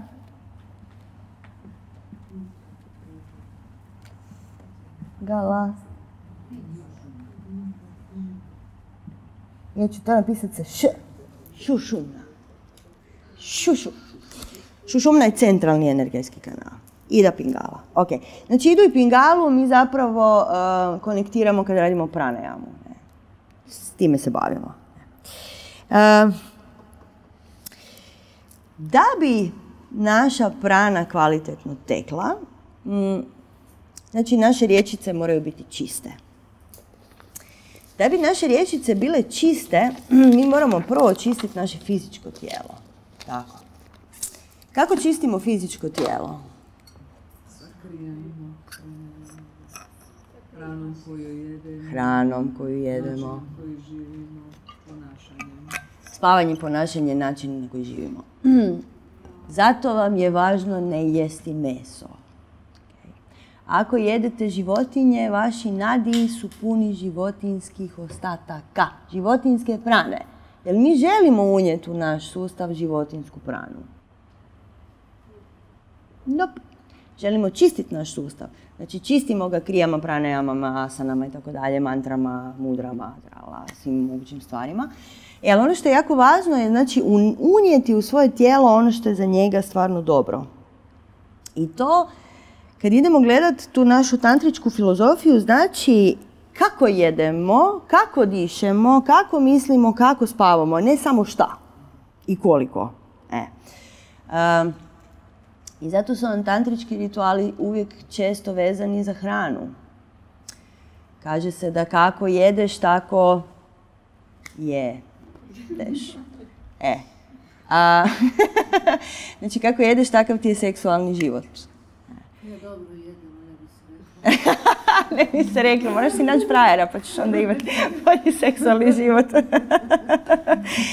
A, znači kako, ne šta. Sa koliko soka, sa koliko gušta, sa koliko želje, sa koliko drajva jedeš između ostalog i radiš sve druge stvari. No dobro. A, I još samo ovo i onda ćemo se kretati. Ne mogu više stajati. ne mogu više sjediti. A to je Razlika između osjećaja kad nas pogoni prana i kad nas pogoni čisti mišić.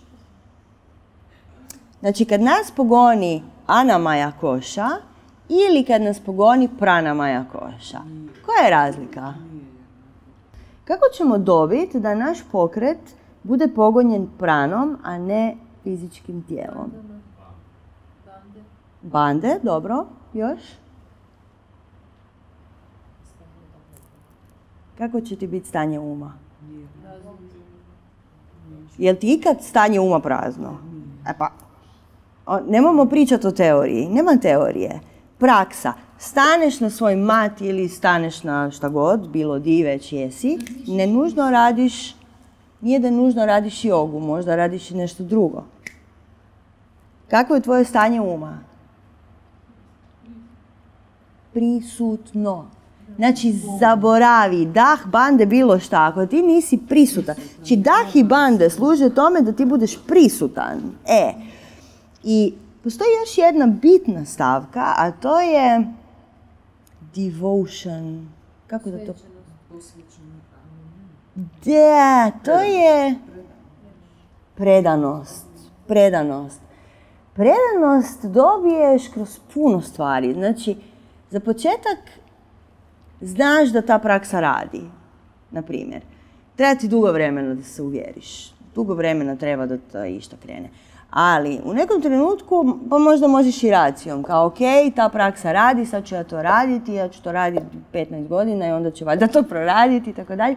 Ali taj jedan devotion u smislu ok, predanost. I sad ću ja napraviti 108 prostracija. Znači kad idete napraviti 108 prostracija, šta mislite šta nosi vaše tijelo? Tijelo ili prana?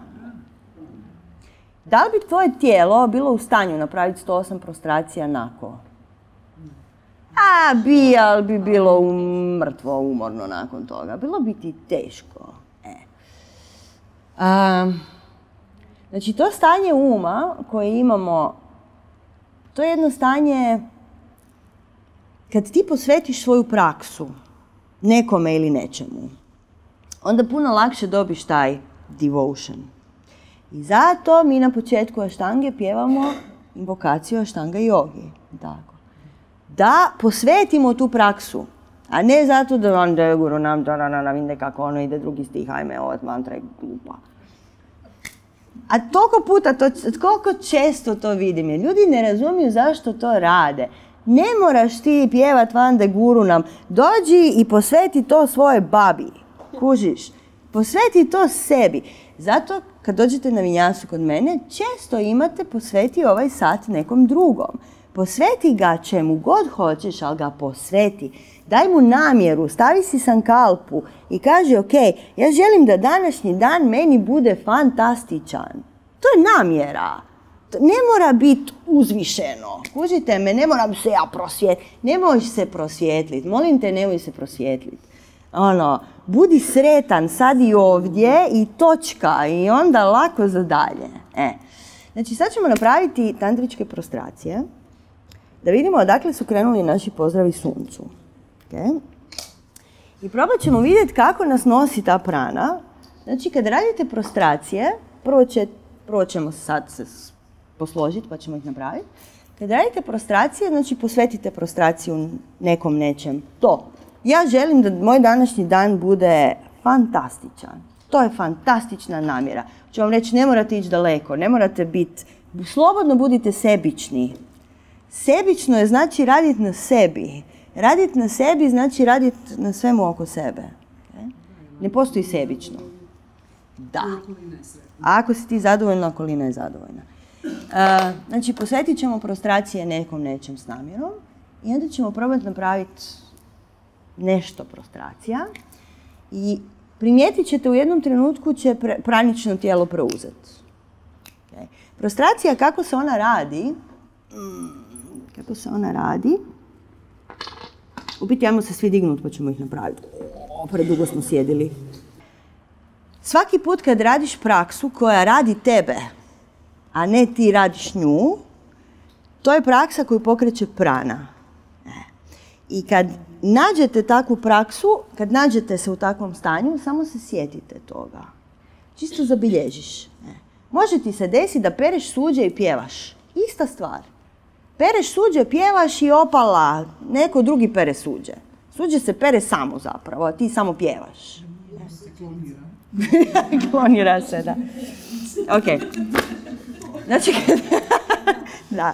kad pričamo o uh, čakra vinjasi, znači kad pričamo o tome da ćemo složiti niz asana koje će onda nama napraviti neke učinke na naše čakre, na naše energetsko tijelo, mi pričamo, znači onom što smo već rekli, to je usklađivanju svega šta jest. Znači usklađivanju nas sa ritmom svemira.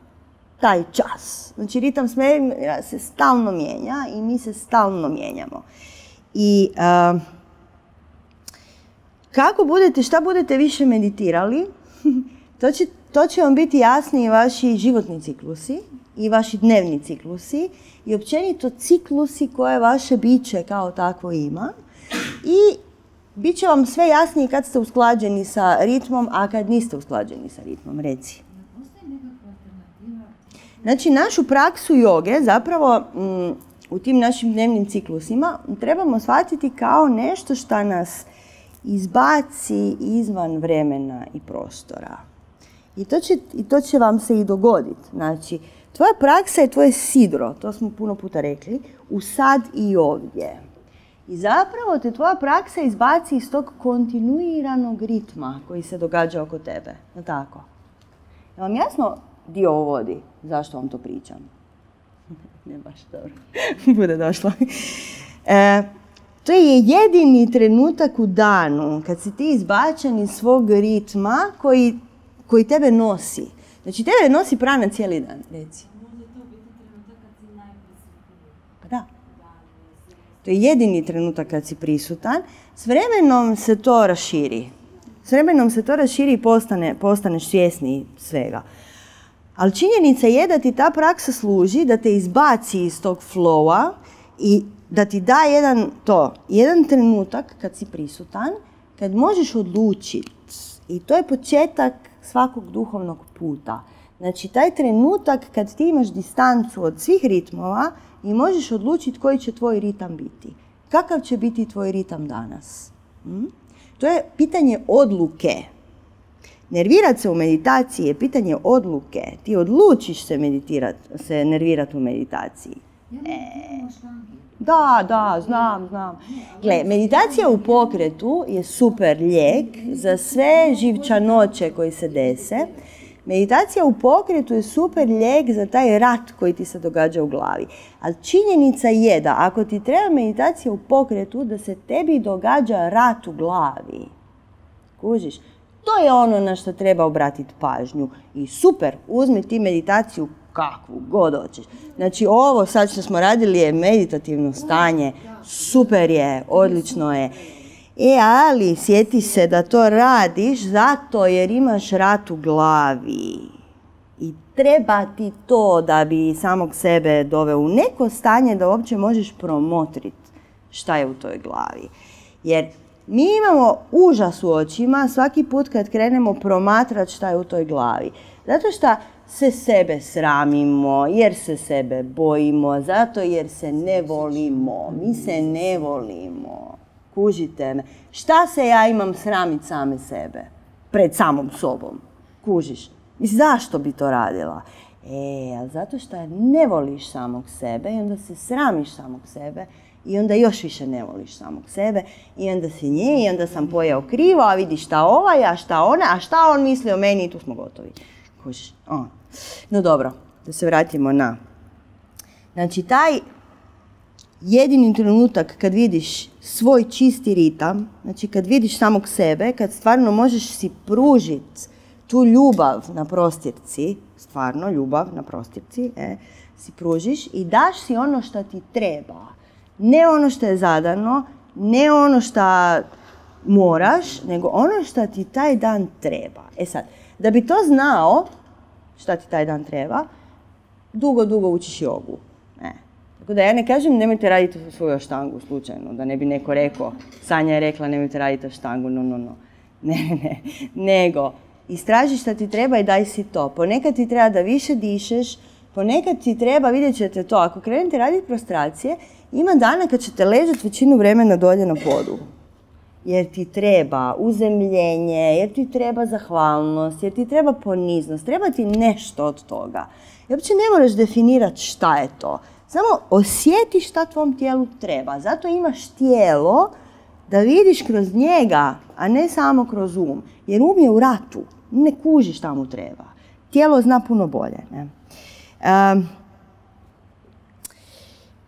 I da se samo vratim na ono što smo počeli prije pričati, a to je ta naša famozna srčana čakra. Znači, kad gledate sve stare zapise, tradicionalne, čak i slike i tako dalje, uvijek ćete vidjeti tu famoznu sliku Šive koji pleše sa svojim bubnjem. I tako, vidjeli ste sto puta. Ili ima neko da nije vidio Šivu koji pleše s bubnjem? Google danas i Šiva koji pleše s bubnjem, zapiši si. Znači Šiva je mitski plesač, takozvani, i ima bubanj, to vam je onaj mali indijski bubanj, jako je smiješan, ima dvije strane i onda radi tum, tum, tum, imali smo ga tu negdje, ali mislim smo ga odnijeli čak. Nije bio, bio dobar zvuk baš. smo kupili na tržnici u Indiji, nije dobra ideja. Anyway, znači taj dvostrani bubanj, dum, dum, dum, dum, dum, i s jedne strane je lingam, s druge strane je joni, inače kad gledate te slike. I taj ritam bubnja, tudum, bubum, bubum, bubum, bubum, bubum, je ritam srca. Okay. Znači, ritam šivinog bubnja je ritam srca kojeg imamo svi, hvala Bogu, jel ga imamo? Nadamo se. Okay. I taj njegov ritam, taj njegov bubanj kreira vibraciju. I onda kažemo da je Šiva stvorio svemir bubnjajući svoj bubanj. Tako. Znači Šiva je stvorio svemir radeći vibraciju ritma srca. Ok, ima dalje, ne morate se prestraviti sad šta ovo krenula, gdje je ovo krenulo. znači, točka u kojoj se spajaju te njegove dvije strane, Joni i Lingam, je točka kreacije života. Znači, jako je puno, ima tu simbolike, ali ima jako puno stvari koje bi nama mogle biti jako korisne. Mm. I kad ideš gledat tu glazbu, znači ritam bubnja, pogotovo tog koji ima dvije strane, onda on nema puno izbora, on ne može raditi puno ritmova. On ima malo ritma, odnosno on ima malo opcija. Ne? Znači, taj ritam je ono što konstantno možeš čuti svugdje u prirodi. To je ritam srca s kojim se mi rađamo. Znači, mi kad smo dijete u maternici, nekom trenutku na petom tjednu, tako, tako nekako, krene lupat srce, puno prije nego što mozak se probudio. Tako. Krene lupat srce i to srce se sinkronizira sa srcem majke. I sad, znači, ti kao dijete u tom, toj maternici imaš soundtrack koji je bubum, bubum, bubum, bubum. I cijeli tvoj sustav se sinkronizira na to. Okay. Znači, to vam je Šiva i njegov bubanj. Ne? I to vam je zapravo e, jedna uputa za probudit srce. Odnosno, ta metanoja o kojoj smo pričali malo prije, odnosno anahata je ključna za buđenje naše svjesnosti. Mi svi mislimo da naša srčana čakra radi, jer mi smo se dva puta u životu zaljubili, pa onda valjda naša srčana čakra radi. Je li to srčana čakra? Ne, nije baš, jel tako da nije? Em, I zapravo, cijela ideja jogijske prakse, vrlo često ćete čuti, to je da je koncentrirano, svo naše iskustvo je koncentrirano u srcu. I nama to zvuči joj ko ljubavni romani, nama to zvuči ko Daniel Steele, ono, ajme majko, ono, šta ovo neka patetika, jel tako? E, zašto? Zato što naša srčana čakra, mi nju uopće ne razumijemo. E, mi ne razumijemo šta ona znači. Mi nismo nikad zapravo imali priliku naučiti pravo suosjećanje. E, Mi smo imali svakakve situacije u životu gdje se nama činilo da imamo suosjećanje, ali vrlo često to suosjećanje je bilo možda nakon malo s visoka, tako, ili od ispod. Ali zapravo suosjećanje pravo, kad ti se probudi srčana čakra, imaš prema cijelom svijetu i svom životu koji postoji. E. I to ne znači neću ubit bubu slučajno autom dok prolazim. Gle, desit će ti se svašta. I staćeš na pi, puža, a bože moj. Ali suosjećanje koje imaš prema životu se širi na apsolutno ne samo ljude, nego na sve šta radiš, na predmete, na klimu, na naravno sva živa bića, na trešnju i na apsolutno sve šta jest. Zato što si trenutku kad ti se probudi srčana čakra, svjestan da je sve oko tebe živo i ovaj zid je isto živ. Okay? Imat ćeš suosjećanje prema zidu. A pogotovo ćeš imati suosjećanje prema zidu na kojem je Monika nacrtala mandalu. Gle, ja kad ovdje ljudi imaju rekvizite, ja sam u problemu. Kužiš, jer čovječe, suosjećanje za moju mandalu je mm, veliko. Kužite me. Znači, u trenutku kad se budi srčana čakra, mm, to postoji, ona postaje zapravo dirigent svega što ti radiš. I da bismo to postigli, znači prvo moramo srediti donje tri čakre. Evo, o tome smo pričali na onom davnom predavanju o, razinama moći i tako dalje. Da mi zapravo imamo ozbiljnih problema sa naše prve tri čakre, da mi uopće ne možemo doći do četvrte, nismo u stanju. A onda mi dođu ljudi i kažu, Sanja, ja mislim da se meni probudila e, treće oko, šesto čakra. Mm, nije. Nije, ne može se probuditi. Može biti aktivna donekle, možeš ti, naravno imaš ti neke vizije, ali nije to ni blizu onome što se desi kad tebi, kad tebi zvizne taj srčani centar. Okay. Em, no dobro. Inače jezik, kad gledamo jezik ritma, jezik muzike je uvijek, ali baš ritma u glazbi, je nešto što je svima nama zajedničko na ovom svijetu, jel tako? I radili su testove na djeci, maloj, maloj djeci, um, šta na njih djeluje. Koji način, na koji način da se ponašamo prema djeci da ona uopće nešto shvate. Ne? Svašta su pokušavali i onda su im pustili bubnjeve. I svi klinci, znači svo malo, malo dijete koje ne može hodat, kužiš krene u ritam. Krene pratit ritam, krene se sinkronizirati sa ritmom. Znači taj ritam je ono što nama u životu fali.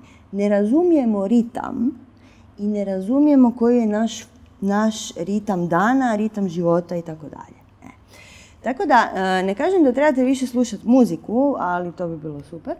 Ali recimo fasciniralo me e, nedavno jedna moja prijateljica došla sa mnom na nekakvo spontano plesanje i potpuno se oduševila se kompletno. Zašto?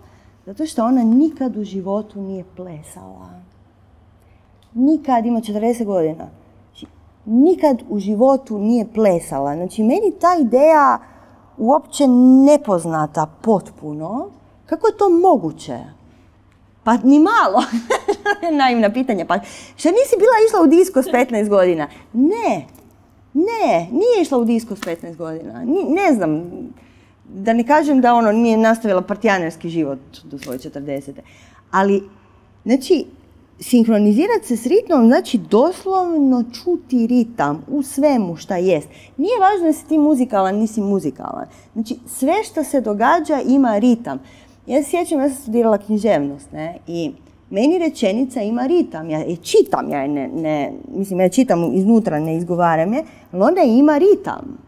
Znači, svaka stvar na svijetu ima ritam.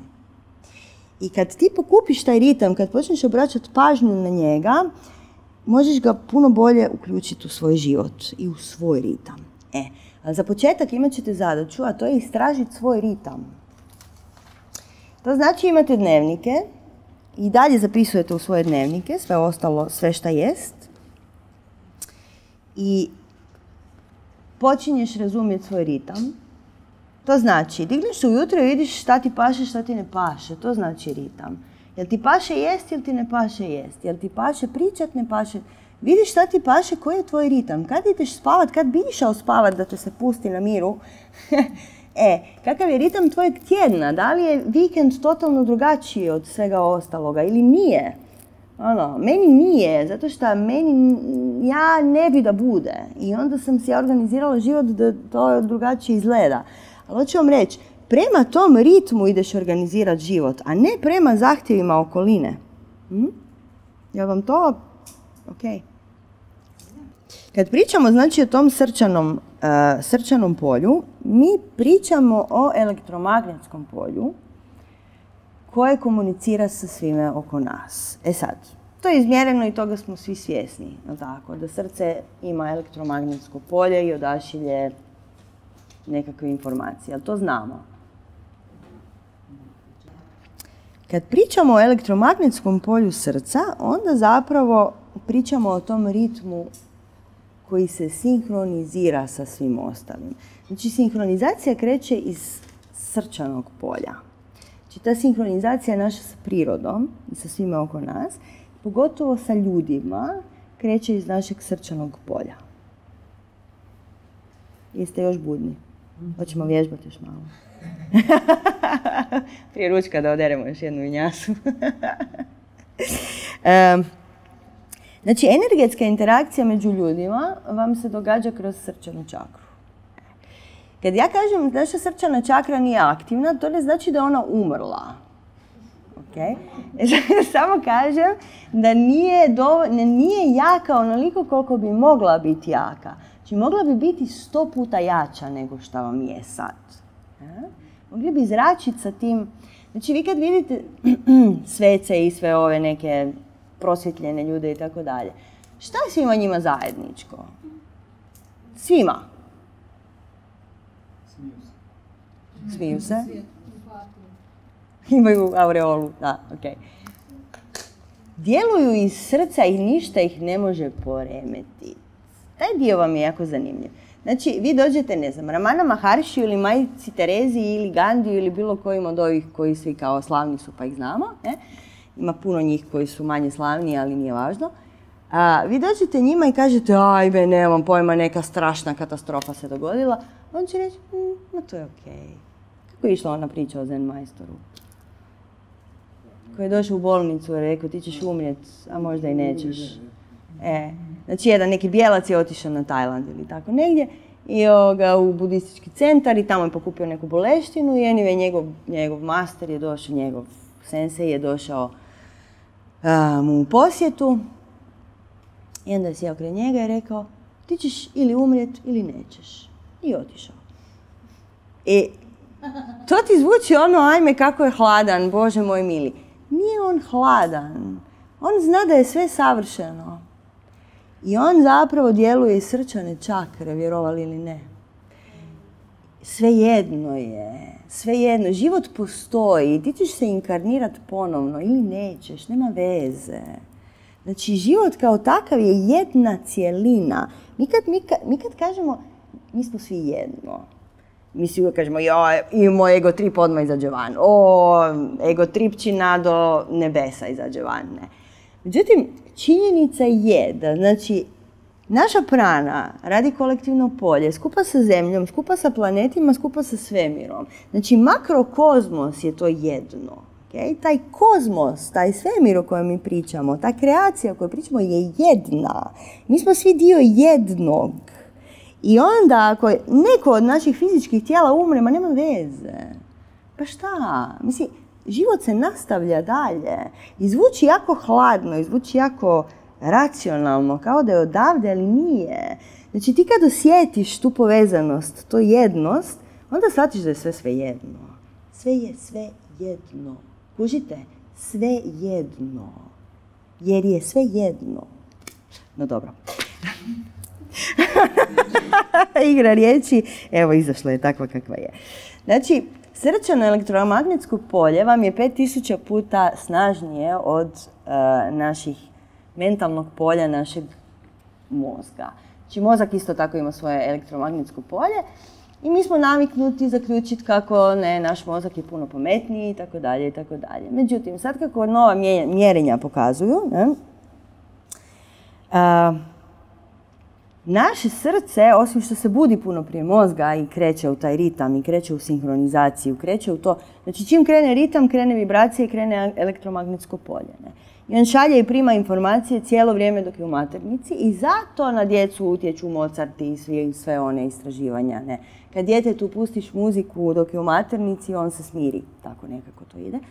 I ovaj, znači, to naše srce odašilje elektromagnetsko polje koje je 5000 puta snažnije. 5000 puta je puno puta snažnije od našeg mozgovnog električnog polja, tako ćemo nazvati. I srce i mozak komuniciraju elektromagnetskim poljem. Znači vi imate, naravno, vi imate živce ovo, ono, imate nervus vagus koji ide srce, um i tako dalje. Međutim, ljudi koji imaju transplantirano srce koji nemaju, ne, mislim, prekinuti im je nervus vagus, oni i dalje imaju komunikaciju elektromagnetskim poljem između srca i mozga. Jel tako? Jel tako? Pa, trebalo bi biti. E. Znači, naše srce zapravo šalje najsnažnije informacije posvuda. Ne samo našem mozgu, nego i svim, svim stvarima oko sebe. I onda ćete čuti da je srž svakog učenja ovog svijeta, ali svakog učenja ovog svijeta je nauči ljubav. Tako? To je jedino što ti treba, je naučiti ljubav. Sve ostalo dođe samo. I stvarno dođe s vremenom, ali mi to ne vjerujemo. Znači, naš Đuro kaže, to nije točno. Moraš naučiti bježati od kriminalaca i moraš naučiti se skloniti s ceste i moraš naučiti jest kad trebaš jest ili tako. Zapravo nije točno. Ono što moraš naučiti je metanoja, nauči ljubav. Donje čakre gore, gornje čakre dolje. Kako se to radi? Osim sa vinjasama koje ćemo proći. Radi se sa praksama za početak upoznavanja samog sebe. Um, na primjer, znači prve tri čakre su instinktivne čakre. Znači ove prve tri čakre su potpuno instinktivne čakre. To je taj životinski mod, nazovimo. Ne. Šta znači poznavati samog sebe? To znači vidjeti, mm, ok, Muladara kaže sigurnost, stabilnost, ja moram imati podršku za život. To je ok. Moram imati pod, jel tako? Moram imati gravitaciju, moram imati ove neke osnovne stvari. Moram imati za jest, moram imati za obuć. Hm. U Muladari koliko imamo mi problema, recite mi? Previše. Je se osjećamo mi sigurni? Muladara kaže, moraš biti siguran. A naš ego kaže, nikad nisi siguran. Ja sam tu da te branim. Je tako? I naš ego nas brani od svega. E. I naša mula dara i ta naša sigurnost i stabilnost koje su nama užasno važne za život, jer jesu važne, one su, mislim, važno je da ti imaš fizički nešto za život, nas vode međutim u manipuru vrlo često, a to je ja bih htio još, jer nisam dovoljno siguran. Ja bi trebao imati još veći auto, još veću kuću i još više novaca, jer nisam sasvim siguran. I onda kad živiš u Hrvatskoj, to je jako zanimljivo pratiti svoju prvu čakru. Jer ovdje stvarno ti, može ti sutra neko doći i uzeti sve što imaš. Tako. Nije samo u Hrvatskoj, ima to sad posvuda, fašizma, koliko hoćeš. Ali činjenica je da ili ljudi žive u u strašnom siromaštvu, pa onda stvarno nemaju. Ne? Ali činjenica je, znači, naša prva čakra koja bi trebala biti skroz ok, jer imamo sve što nam treba. Stalno vrišti nemaš dovoljno, nemaš dovoljno, nemaš dovoljno. Tako, zašto? Zato što ovaj trokut pokazuje u nju i kaže ja hoću još, ja hoću još, ja hoću biti važniji, ja hoću biti sigurniji. I mi povežemo treću čakru sa prvom, mi povežemo taj naš ego, ego taj jedan dio nas koji voli izgraditi identitet, tako ćemo ga nazvati. Povežemo se prvom čakrom i onda zaključimo da nikad nismo dovoljno sigurni. I onda nismo sigurni u svog partnera, nismo sigurni u svoje roditelje, nismo sigurni u svoje imanje i čega, posjedovanje nečega. I onda šta radimo? Bivamo posesivni. Kužite me? Jer ako ti misliš da nemaš dovoljno bilo čega, novaca, ljubavi, pažnje, šta god, tražiš puno više toga, jel tako? Znači, ljudi koji misle da nemaju dovoljno pažnje, vi ih svi znate, dolaze stalno po još pažnje. Tako? To su oni ljudi na satu koji vam dođu na jogu, onda vas gledaju ovako cijeli dan. I sve može. Da. Zapravo on traži pažnju i dobije je, sve pet. Ali ljudi koji traže puno pažnje imaju problem u prvoj čakri i u trećoj. Svadistana, znači naš centar svjesnosti, naša druga čakra vodena.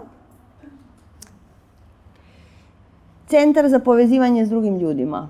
Kako nam to ide? Radimo na tome, znam, svi radimo na tome. Radimo na tome, da, nama je dobro, a njima nije najbolje. Znači, naše povezivanje, povjerenje u ljude. Da, ali znači činjenica je da naš odnos sa ljudima je rezultat našeg odnosa prema sebi. To vam je jasno. To ti je jasno. Znači nećeš pomoći samo i sebi. To je činjenica. E. Znači kad idemo gledati to tako, onda e, puno bolje sebe upoznamo, naravno. E onda opet dolazimo do one crne strane o kojima smo malo prije pričali, a to je da si ne želimo priznat neke stvari, šta je bedasto. Jer to, zašto bi se ti sramio samog sebe? Jel se sramiš samog sebe? To. Požderete zavist ili ljubomora. Ljubomora je tako jedan tipičan, divan primjer. Požderete fino ljubomora i kako se ti osjećaš? Jadno, bijesno, frustrirano, nezadovoljeno. Šta radiš tom svom kome god, šta kogod partneru ili nema veze, jer možda si ti ljubomoran od svog braća, pa onda imaš pos- posesivni odnos prema majci, jel tako? Ne mora biti ljubomoran samo nužno na, na, na svog partnera, ne? Kako se ponašaš kad si ljubomoran? Destruktivno. Piješ sam svoj otrov, jel tako? Ok. I onda sjedneš i kažeš, ok, zašto sam ja ljubomoran? I onda kreneš analizirati. Mislim, to ljudi ne rade da se razumijemo, ali to se oč- očekujem od vas. Nešto što jako malo ljudi uopće Znači, kreneš analizirati, ok, zašto sam ja ljubomoran? Zašto si ljubomoran? Zato jer si nesiguran. E, i onda krene zašto si nesiguran? Jer samog sebe ne voliš dovoljno. To je uvijek, to vam je uvijek ono na kraju. Ali šta, sam sebi nisi lijep. Jesi si u stanju to priznat? Ma priznaš, ali samo u četiri zida i rijetko. Je, ali samom sebi priznat takve stvari nije ugodno. I onda ljudi bježe od toga. Nije, nije nešto što ćeš, baš neki dijalog koji ćeš rado voditi. Jer to je naša mračna strana. I onda shvatiš da, čekaj malo, ja sam totalno nesigurna i samo sam sebi ružna. Mislim, čekaj malo, ma šta je meni? Ono, ajmo to promijeniti. I onda to promijeniš. Pitanje je volje, a ne objektivnih stvari. Znači, ma naravno. Svi radimo na tome, cijeli život radiš na tome i onda još to inkarnacija radiš na tome poslije. E, I to je proces, e. Znači nismo zadovoljni sa sobom i onda se ponašamo loše prema drugim ljudima. Kakav nam je, opet ću se vratiti po 158. put, seksualni život u našoj zemlji? Tabu tema. tabu tema, koliko dugo traje jedan seksualni čin prosječni u našoj okolini. ja se ne sjećam. E, Malo, kratko, traje kratko. Zato jer nismo educirani. Mi nismo educirani kako, kako uopće slušati samog sebe i šta nama treba u životu. Nije pitanje seksa da ideš okolo pa se ševiš sa svim drugim ljudima. Nije pitanje toga, nego toga da smo mi zatvoreni u kutiju, a to je opet jedan tako očigledni primjer. Ne?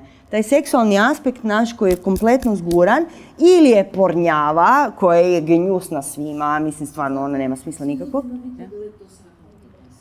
Sve je to sramota i ne smiješ se pokazivati. E. No dobro, znači anyway, naše prve tri čakre ne rade. Od tu smo krenuli. Dobro, ne rade dobro. Trebamo ih posložiti. Znači ova domaća zadaća vam je za slaganje tih nekih osnovnih stvari. Znači da radiš, da vidiš svoj flow. Ja ću sad još samo završiti prije ručka.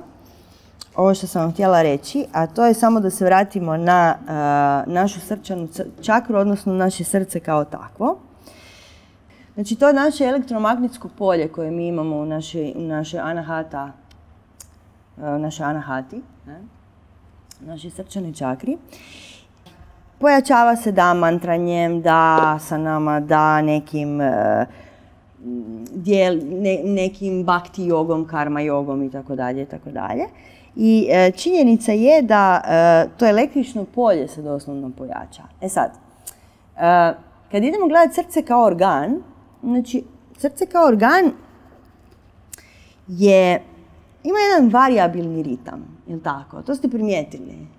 Da, srce ne kuca pravilno. To ste skužili. E.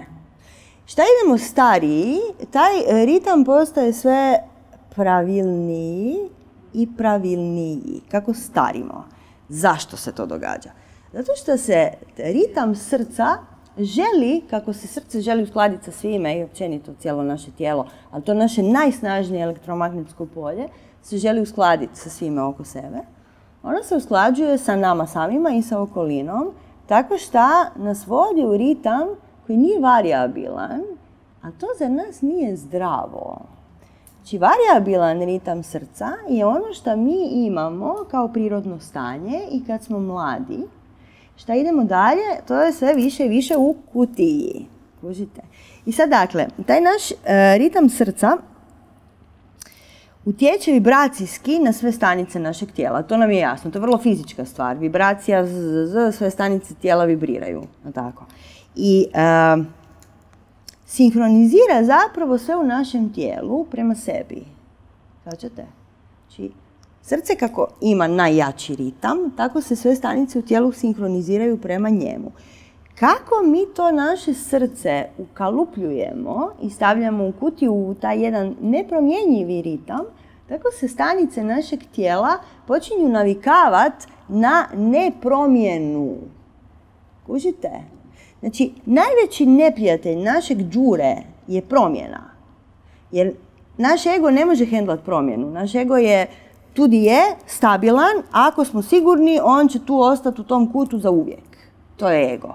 E, a naše srce hoće promjenu, jer samo mjena stalna jest. Ono hoće biti variabilno i sinkronizira naše ritmove sa sobom i ajmo u promjenu, ajmo se malkice promijeniti tu i tamo. I daje nam zapravo ideju da promjena je dobra stvar. Kužite me, me pratite. Dobro. I em, to je zapravo yoga.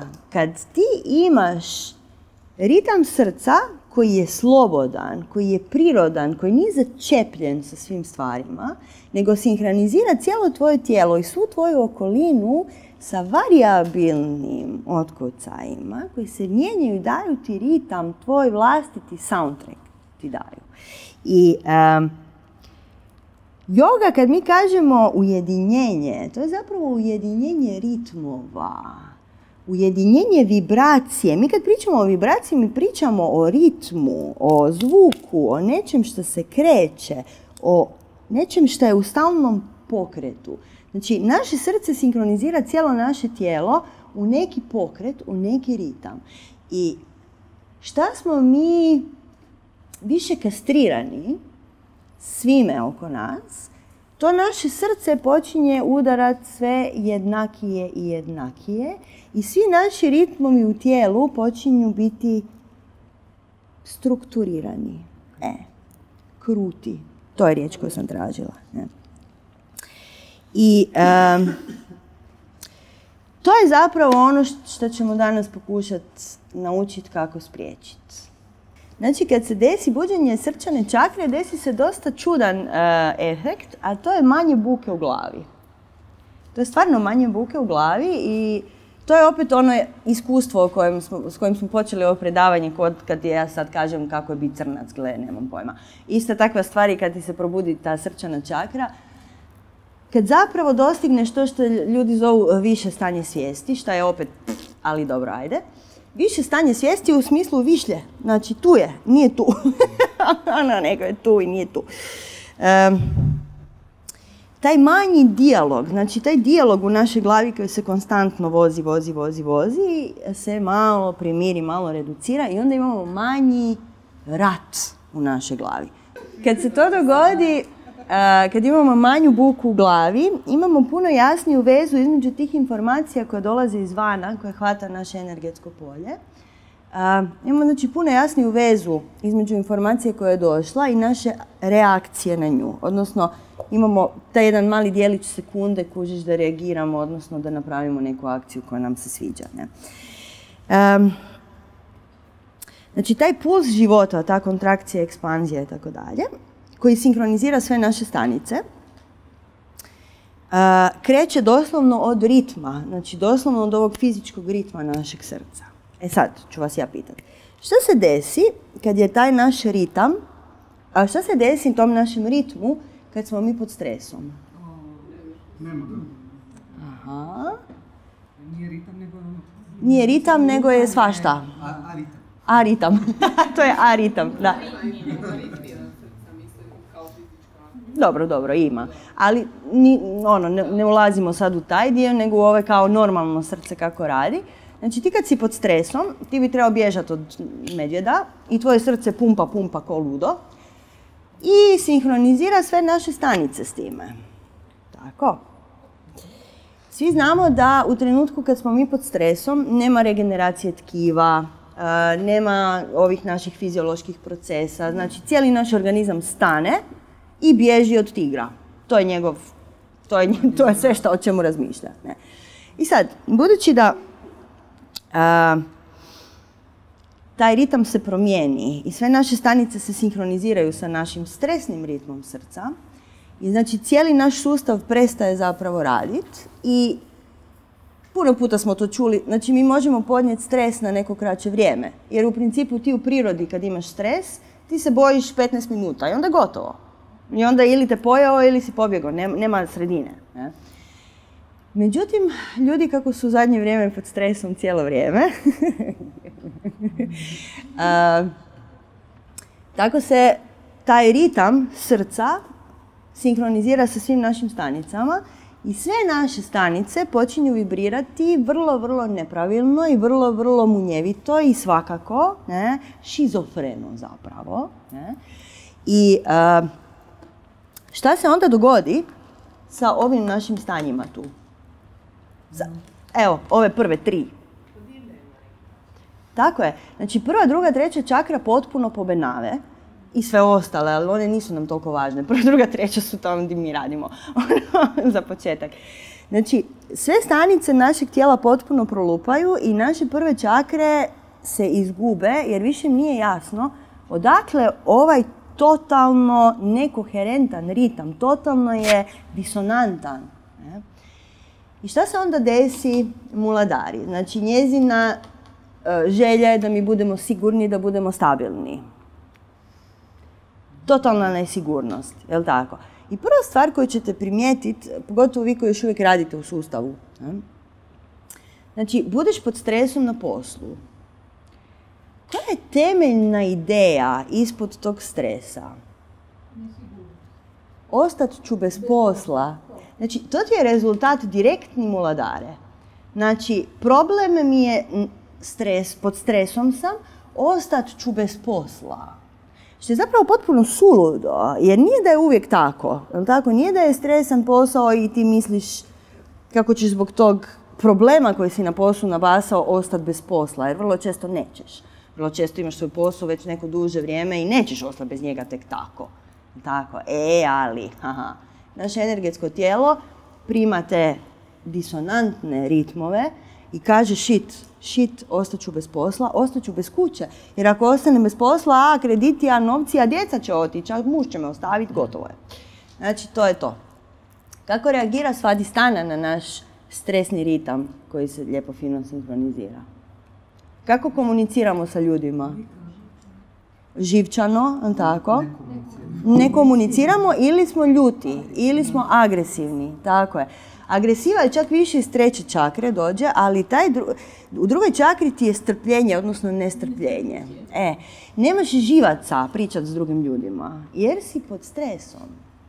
E. Uh, manipura odmah krene u ego trip. Naravno, manipura će uvijek krenuti u ego trip. To je njezin zadatak. Ne? Znači, kreće u ego trip, znači ima taj disonantan ritam i šizofrenija kompletna. Šta će reći ego trip? Ja sam jedini važan, daj mi sve. Jel tako? E. I onda se ove tri lijepo fino spoje i sve šibaju dolje. Nikakva energija ne ide gore. Prana konstantno ide prema dolje. Ili, kako u našem fizičkom tijelu mi to osjetimo, e, kao pranu koja zapravo stoji i samo se tu događa. Znači, kakva nam je probava kad smo pod stresom? Svakakva. Nekima je Neki ima, ponekad imaš, ponekad nemaš, t, t, t, t. Em, znojenje. Vi osjetite vjerojatno kad su ljudi pod stresom, oni, mislim, taj miris nije ugodan, je tako? Da, zato što se dogodi i gle, mi kad smo pod stresom desi se izljev hormona, kortizola, čudesa, svašta, da sad ne ulazimo u to sve skupa.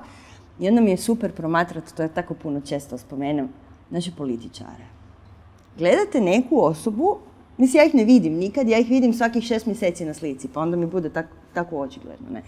Vidiš neku osobu koja je krenula u politiku i ona izgleda relativno normalno. Ne? I onda, šest mjeseci kasnije, bum, ima crne obruče, kužiš oko, oko očiju i sve se objesilo. Postoje stariji, 20 godina je stari.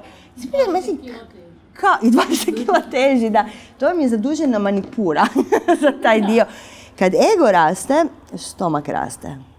To je, to je. Inače, sport kao takav, profesionalni sport, kaže se da ljudi vole gledati toliko puno profesionalni sport zato da bi vidjeli kako se drugi ljudi nose sa stresom.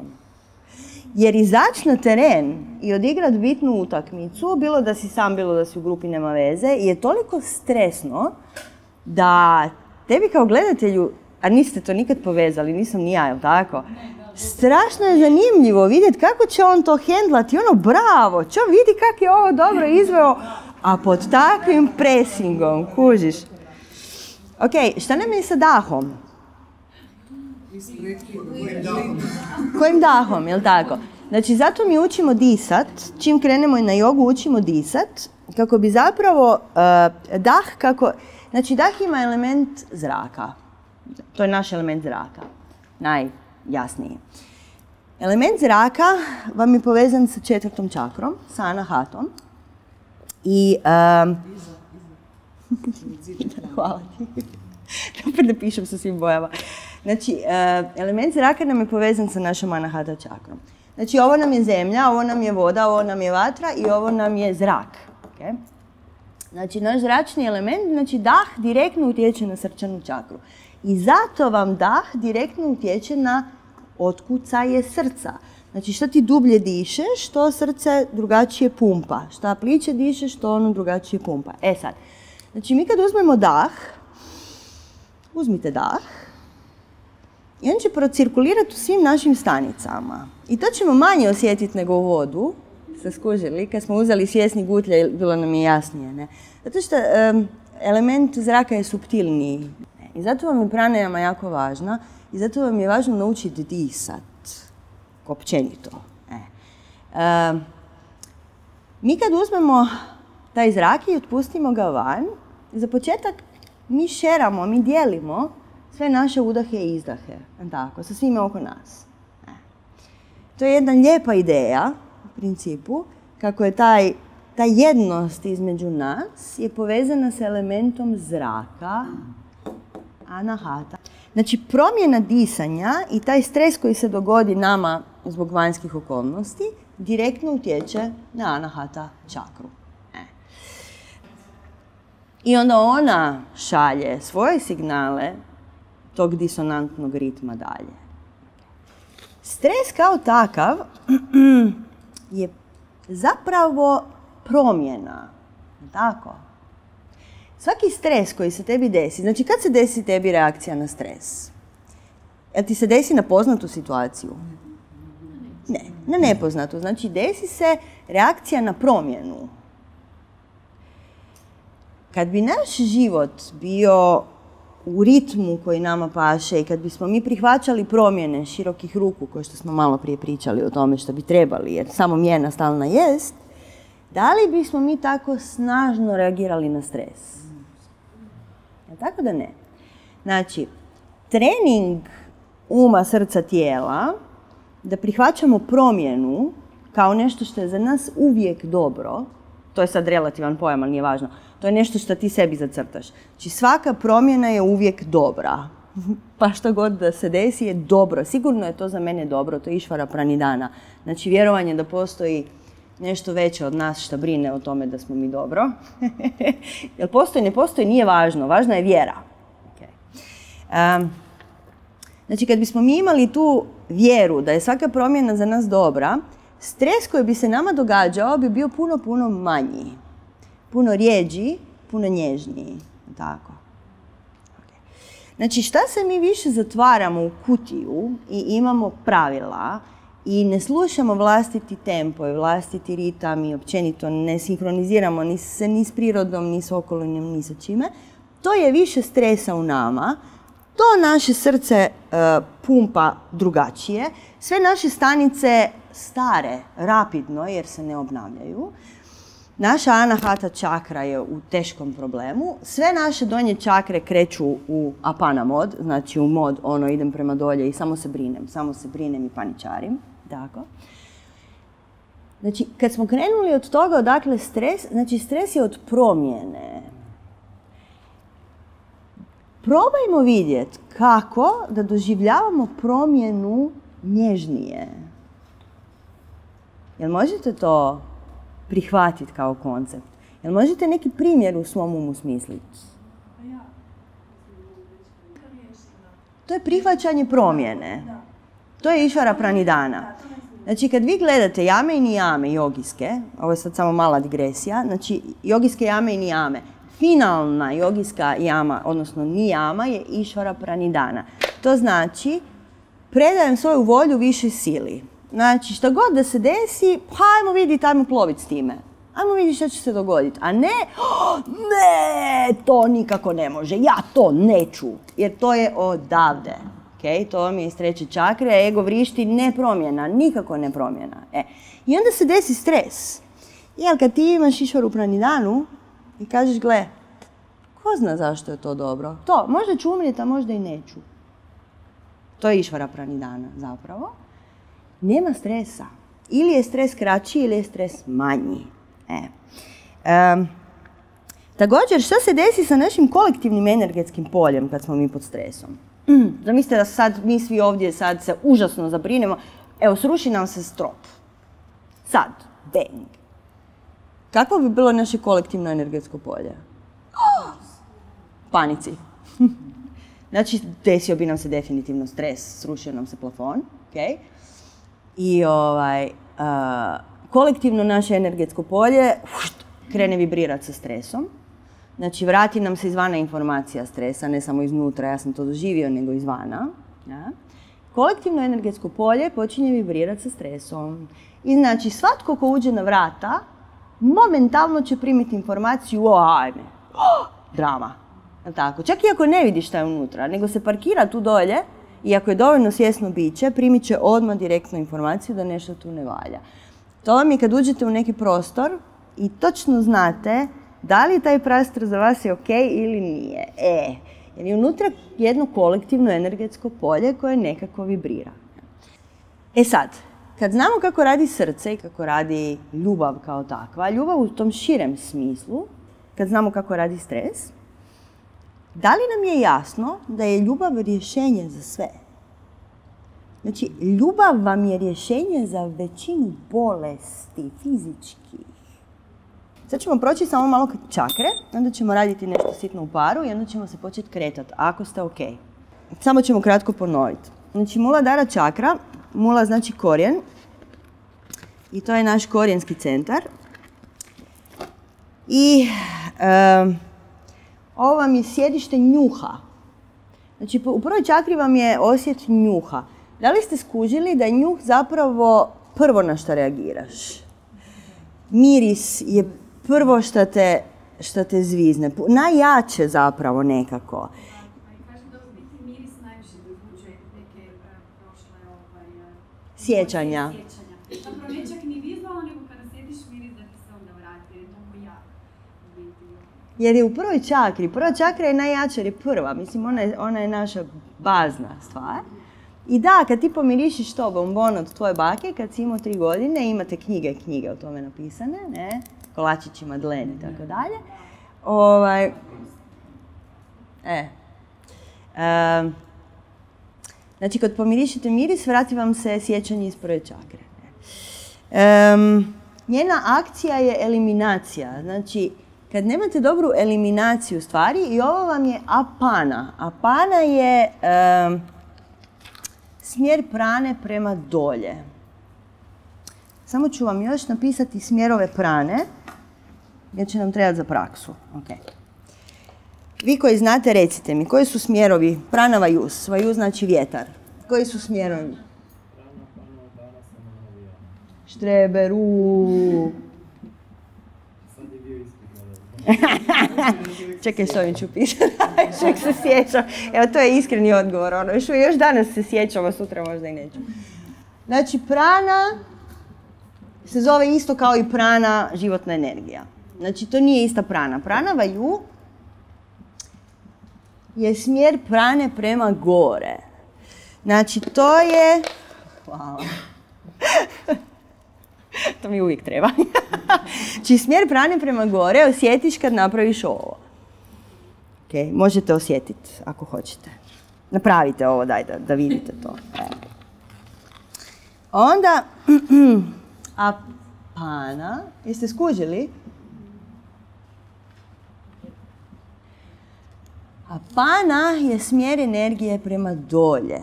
Mm. To je kad smo radili prostracije, izdah i ideš dolje. I cijeli se uh, zgusneš u prvu čakru. E. Znači, apana vaju e, vam je zadužen, znači prana vam, je zadužen, ne znam, za, za udisaj, za, za takve stvari. A pana vaju vam je zadužen za izdisaj, ali i za eliminaciju raznih stvari iz tijela.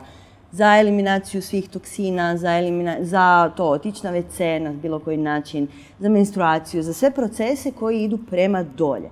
I zato se inverzije ne rade kad imate menstruaciju, ne zbog fizičkih stvari, koje su posljedica ovog svega, nego zbog apana vajua, znači zbog energije koja se kreće prema dolje. E. Onda dalje, šta smo rekli? Ajde Filipe, već je zaboravio, ajde. Samana, samana vaju. Sapa, samana vaju vam je u centru, znači to je kad doslovno napraviš i stisneš se u centar. Znači to su vam pokriti u jogi, pa za početak, za početak ova mudra vam je, samana vaju. Zgusnem se u centar. ok. Dalje. Dana.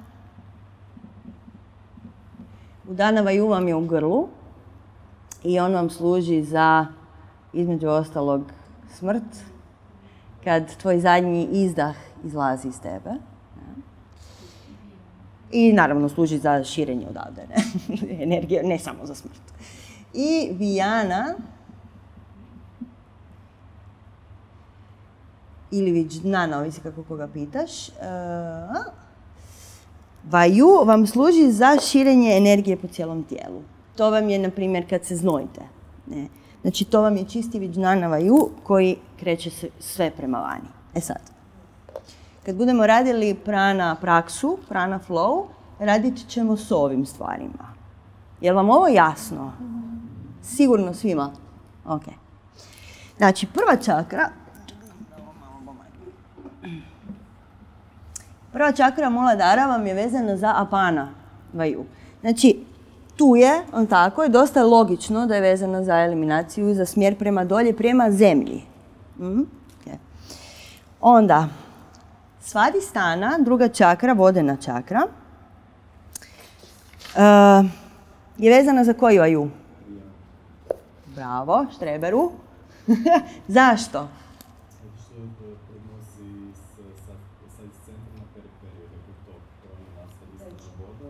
Voda, da. Logično je. Znači, prenosiš e, kroz cijelo tijelo zapravo, prema vani, sve što prenosiš. I pranu, i vodu, i tako dalje, i tako dalje. Ok. Dalje. Treća nam je manipura. Manipura nam je u solarnom, ce- solarnom pleksusu. I a, tu nam je samana vaju. A, manipura vam je zadužena za probavu, na primjer. Znači, sve što je vatreno u tijelu, a vatra vam je tu, mislim, osjetili ste vatru, tako, osjetit ćete i na praksi, a, vam je vezano za treću čakru i za taj samana vaju, znači, zgusnem. Ego, ego je zgusnuta struktura, to ste skužili, jel tako? Znači, treća čakra je zgusnuta struktura, to je čvrsto, fizička stvar jedna. I onda dolazimo na srčanu čakru, anahatu, koja je zračna. Koji je to od ovih? Prana, ide gore. Zrak voli ići gore. E. Prana. E, Aha, nisam vam rekla da. Znači, manipura vam je vezana za vid. To je isto dosta logično. Znači, naše snalaženje u našem 3D, u našem svijetu, je najčešće vezano za vid. To je prvi organ koji ti je naj... Ako ja to ne vidim, ja u to ne vjerujem. Jel tako? To vam je ego. To vam je taj 3D, moment čvrstog tla. Okay, ovog našeg postojanja na zemlji. Svadistana vam je vezana za okus. Sjećate se što smo malo prije rekli. Kako jedeš, tako radiš i sve ove druge stvari. Tako.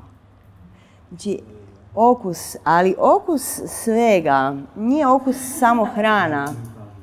Da, svadistana vam je naravno vezana za reproduktivne organe. Ne? Manipura vam je vezana za probavne organe. Anahata, znači taj... Inače, ovo vam se čita anahata, samo to tako zvuči pompozno da ne veze. Onda svi to kažemo, ok, anahata ćemo, tako, tako ćemo reći. Znači, anahata vam je vezana za e, dodir. Zašto dodir? Zato što ruke su vam vezane na srčanu čakru. E. Dodir naravno ima veze sa cijelim tijelom, ali voliš pipkat, voliš dirkat. E? I onda ti je to vezano za srčanu čakru. Višuda, njezin element je eter, naravno, zato što glasom komuniciraš, zvukom komuniciraš. I eter ćeš najčešće čuti kao element koji prenosi različite informacije zvukom. Ali nije samo zvukom, nego i svim mogućim ovim vibracijama koje ne čujemo. Ne? Zvuk je puno, puno zvuka ima više nego ovo što mi čujemo. Ne? I tu vam je naravno, to su vam uši, ne? organ sluha. Ađna čakra, ađna inače znači command, uh, upravljati. E.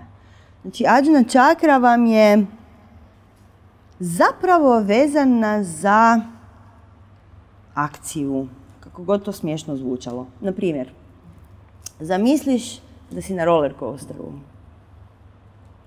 Sad zamisli da si na roller coasteru i momentalno cijelo tvoje tijelo krene u aktivnost kao da jesi. Možeš zamisliti možda, e ali, znači kad ti imaš neko sjećanje, znači zato je to organ akcije, kad imaš neko sjećanje, sjeti se kad si pala negdje, kakav je feeling, odmah te zvizne iznutra, ne? Znači zato vam je to organ akcije. Ne? Zato što sjećanje samo te odvede u direktno stanje tijela kad si ti u tom stanju bio. Ok, Pratite? Dobro. I krunska čakra, sahasrara čak- čakra, kaže da je to sjedište našeg pravog sepstva, šive. Šive, odnosno nemanifestiranog. Odnosno sjedište, ja bih rekla da je to povezanost sa kolektivnom, kolektivnim energetskim poljem. Tako meni to nekako najdraže za reći. Što bi bila bavana, odnosno praksa s kojom ćeš tu svoju prvu čakru malo zaliječiti, a da nisu asane? Šta mislite? Osim meditacije. Znači, osim jogijskih praksi. Životna praksa, životni stav, šta god. Šta bi bilo za malkice dobiti tu prvu čakru da bude malo? Suočavanje sa strahom je super. To je hrabro.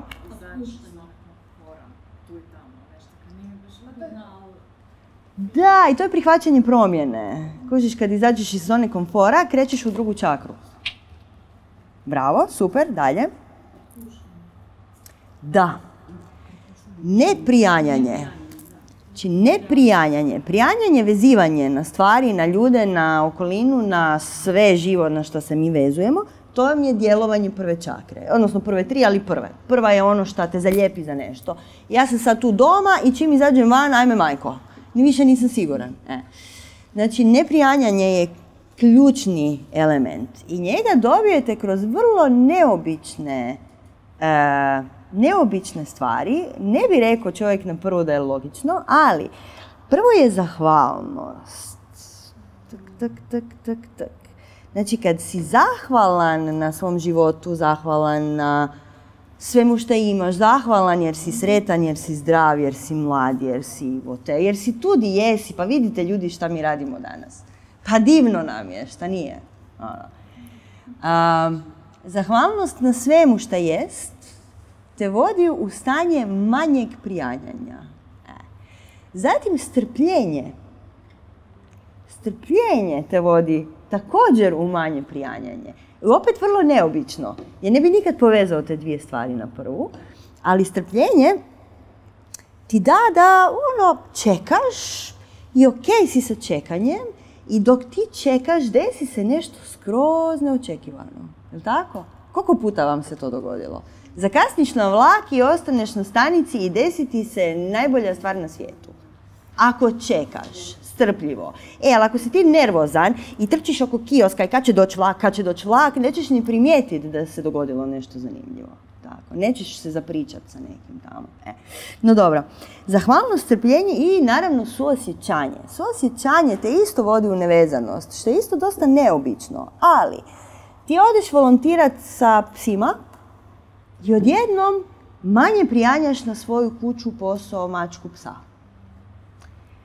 Kako se to dogodi? Tako što jednostavno tvoje energetsko tijelo pokupi suosjećanje, probuditi se žeš, žešća anahata, že, puno jače djeluje na srčanu čakru i ona te zapravo odveže.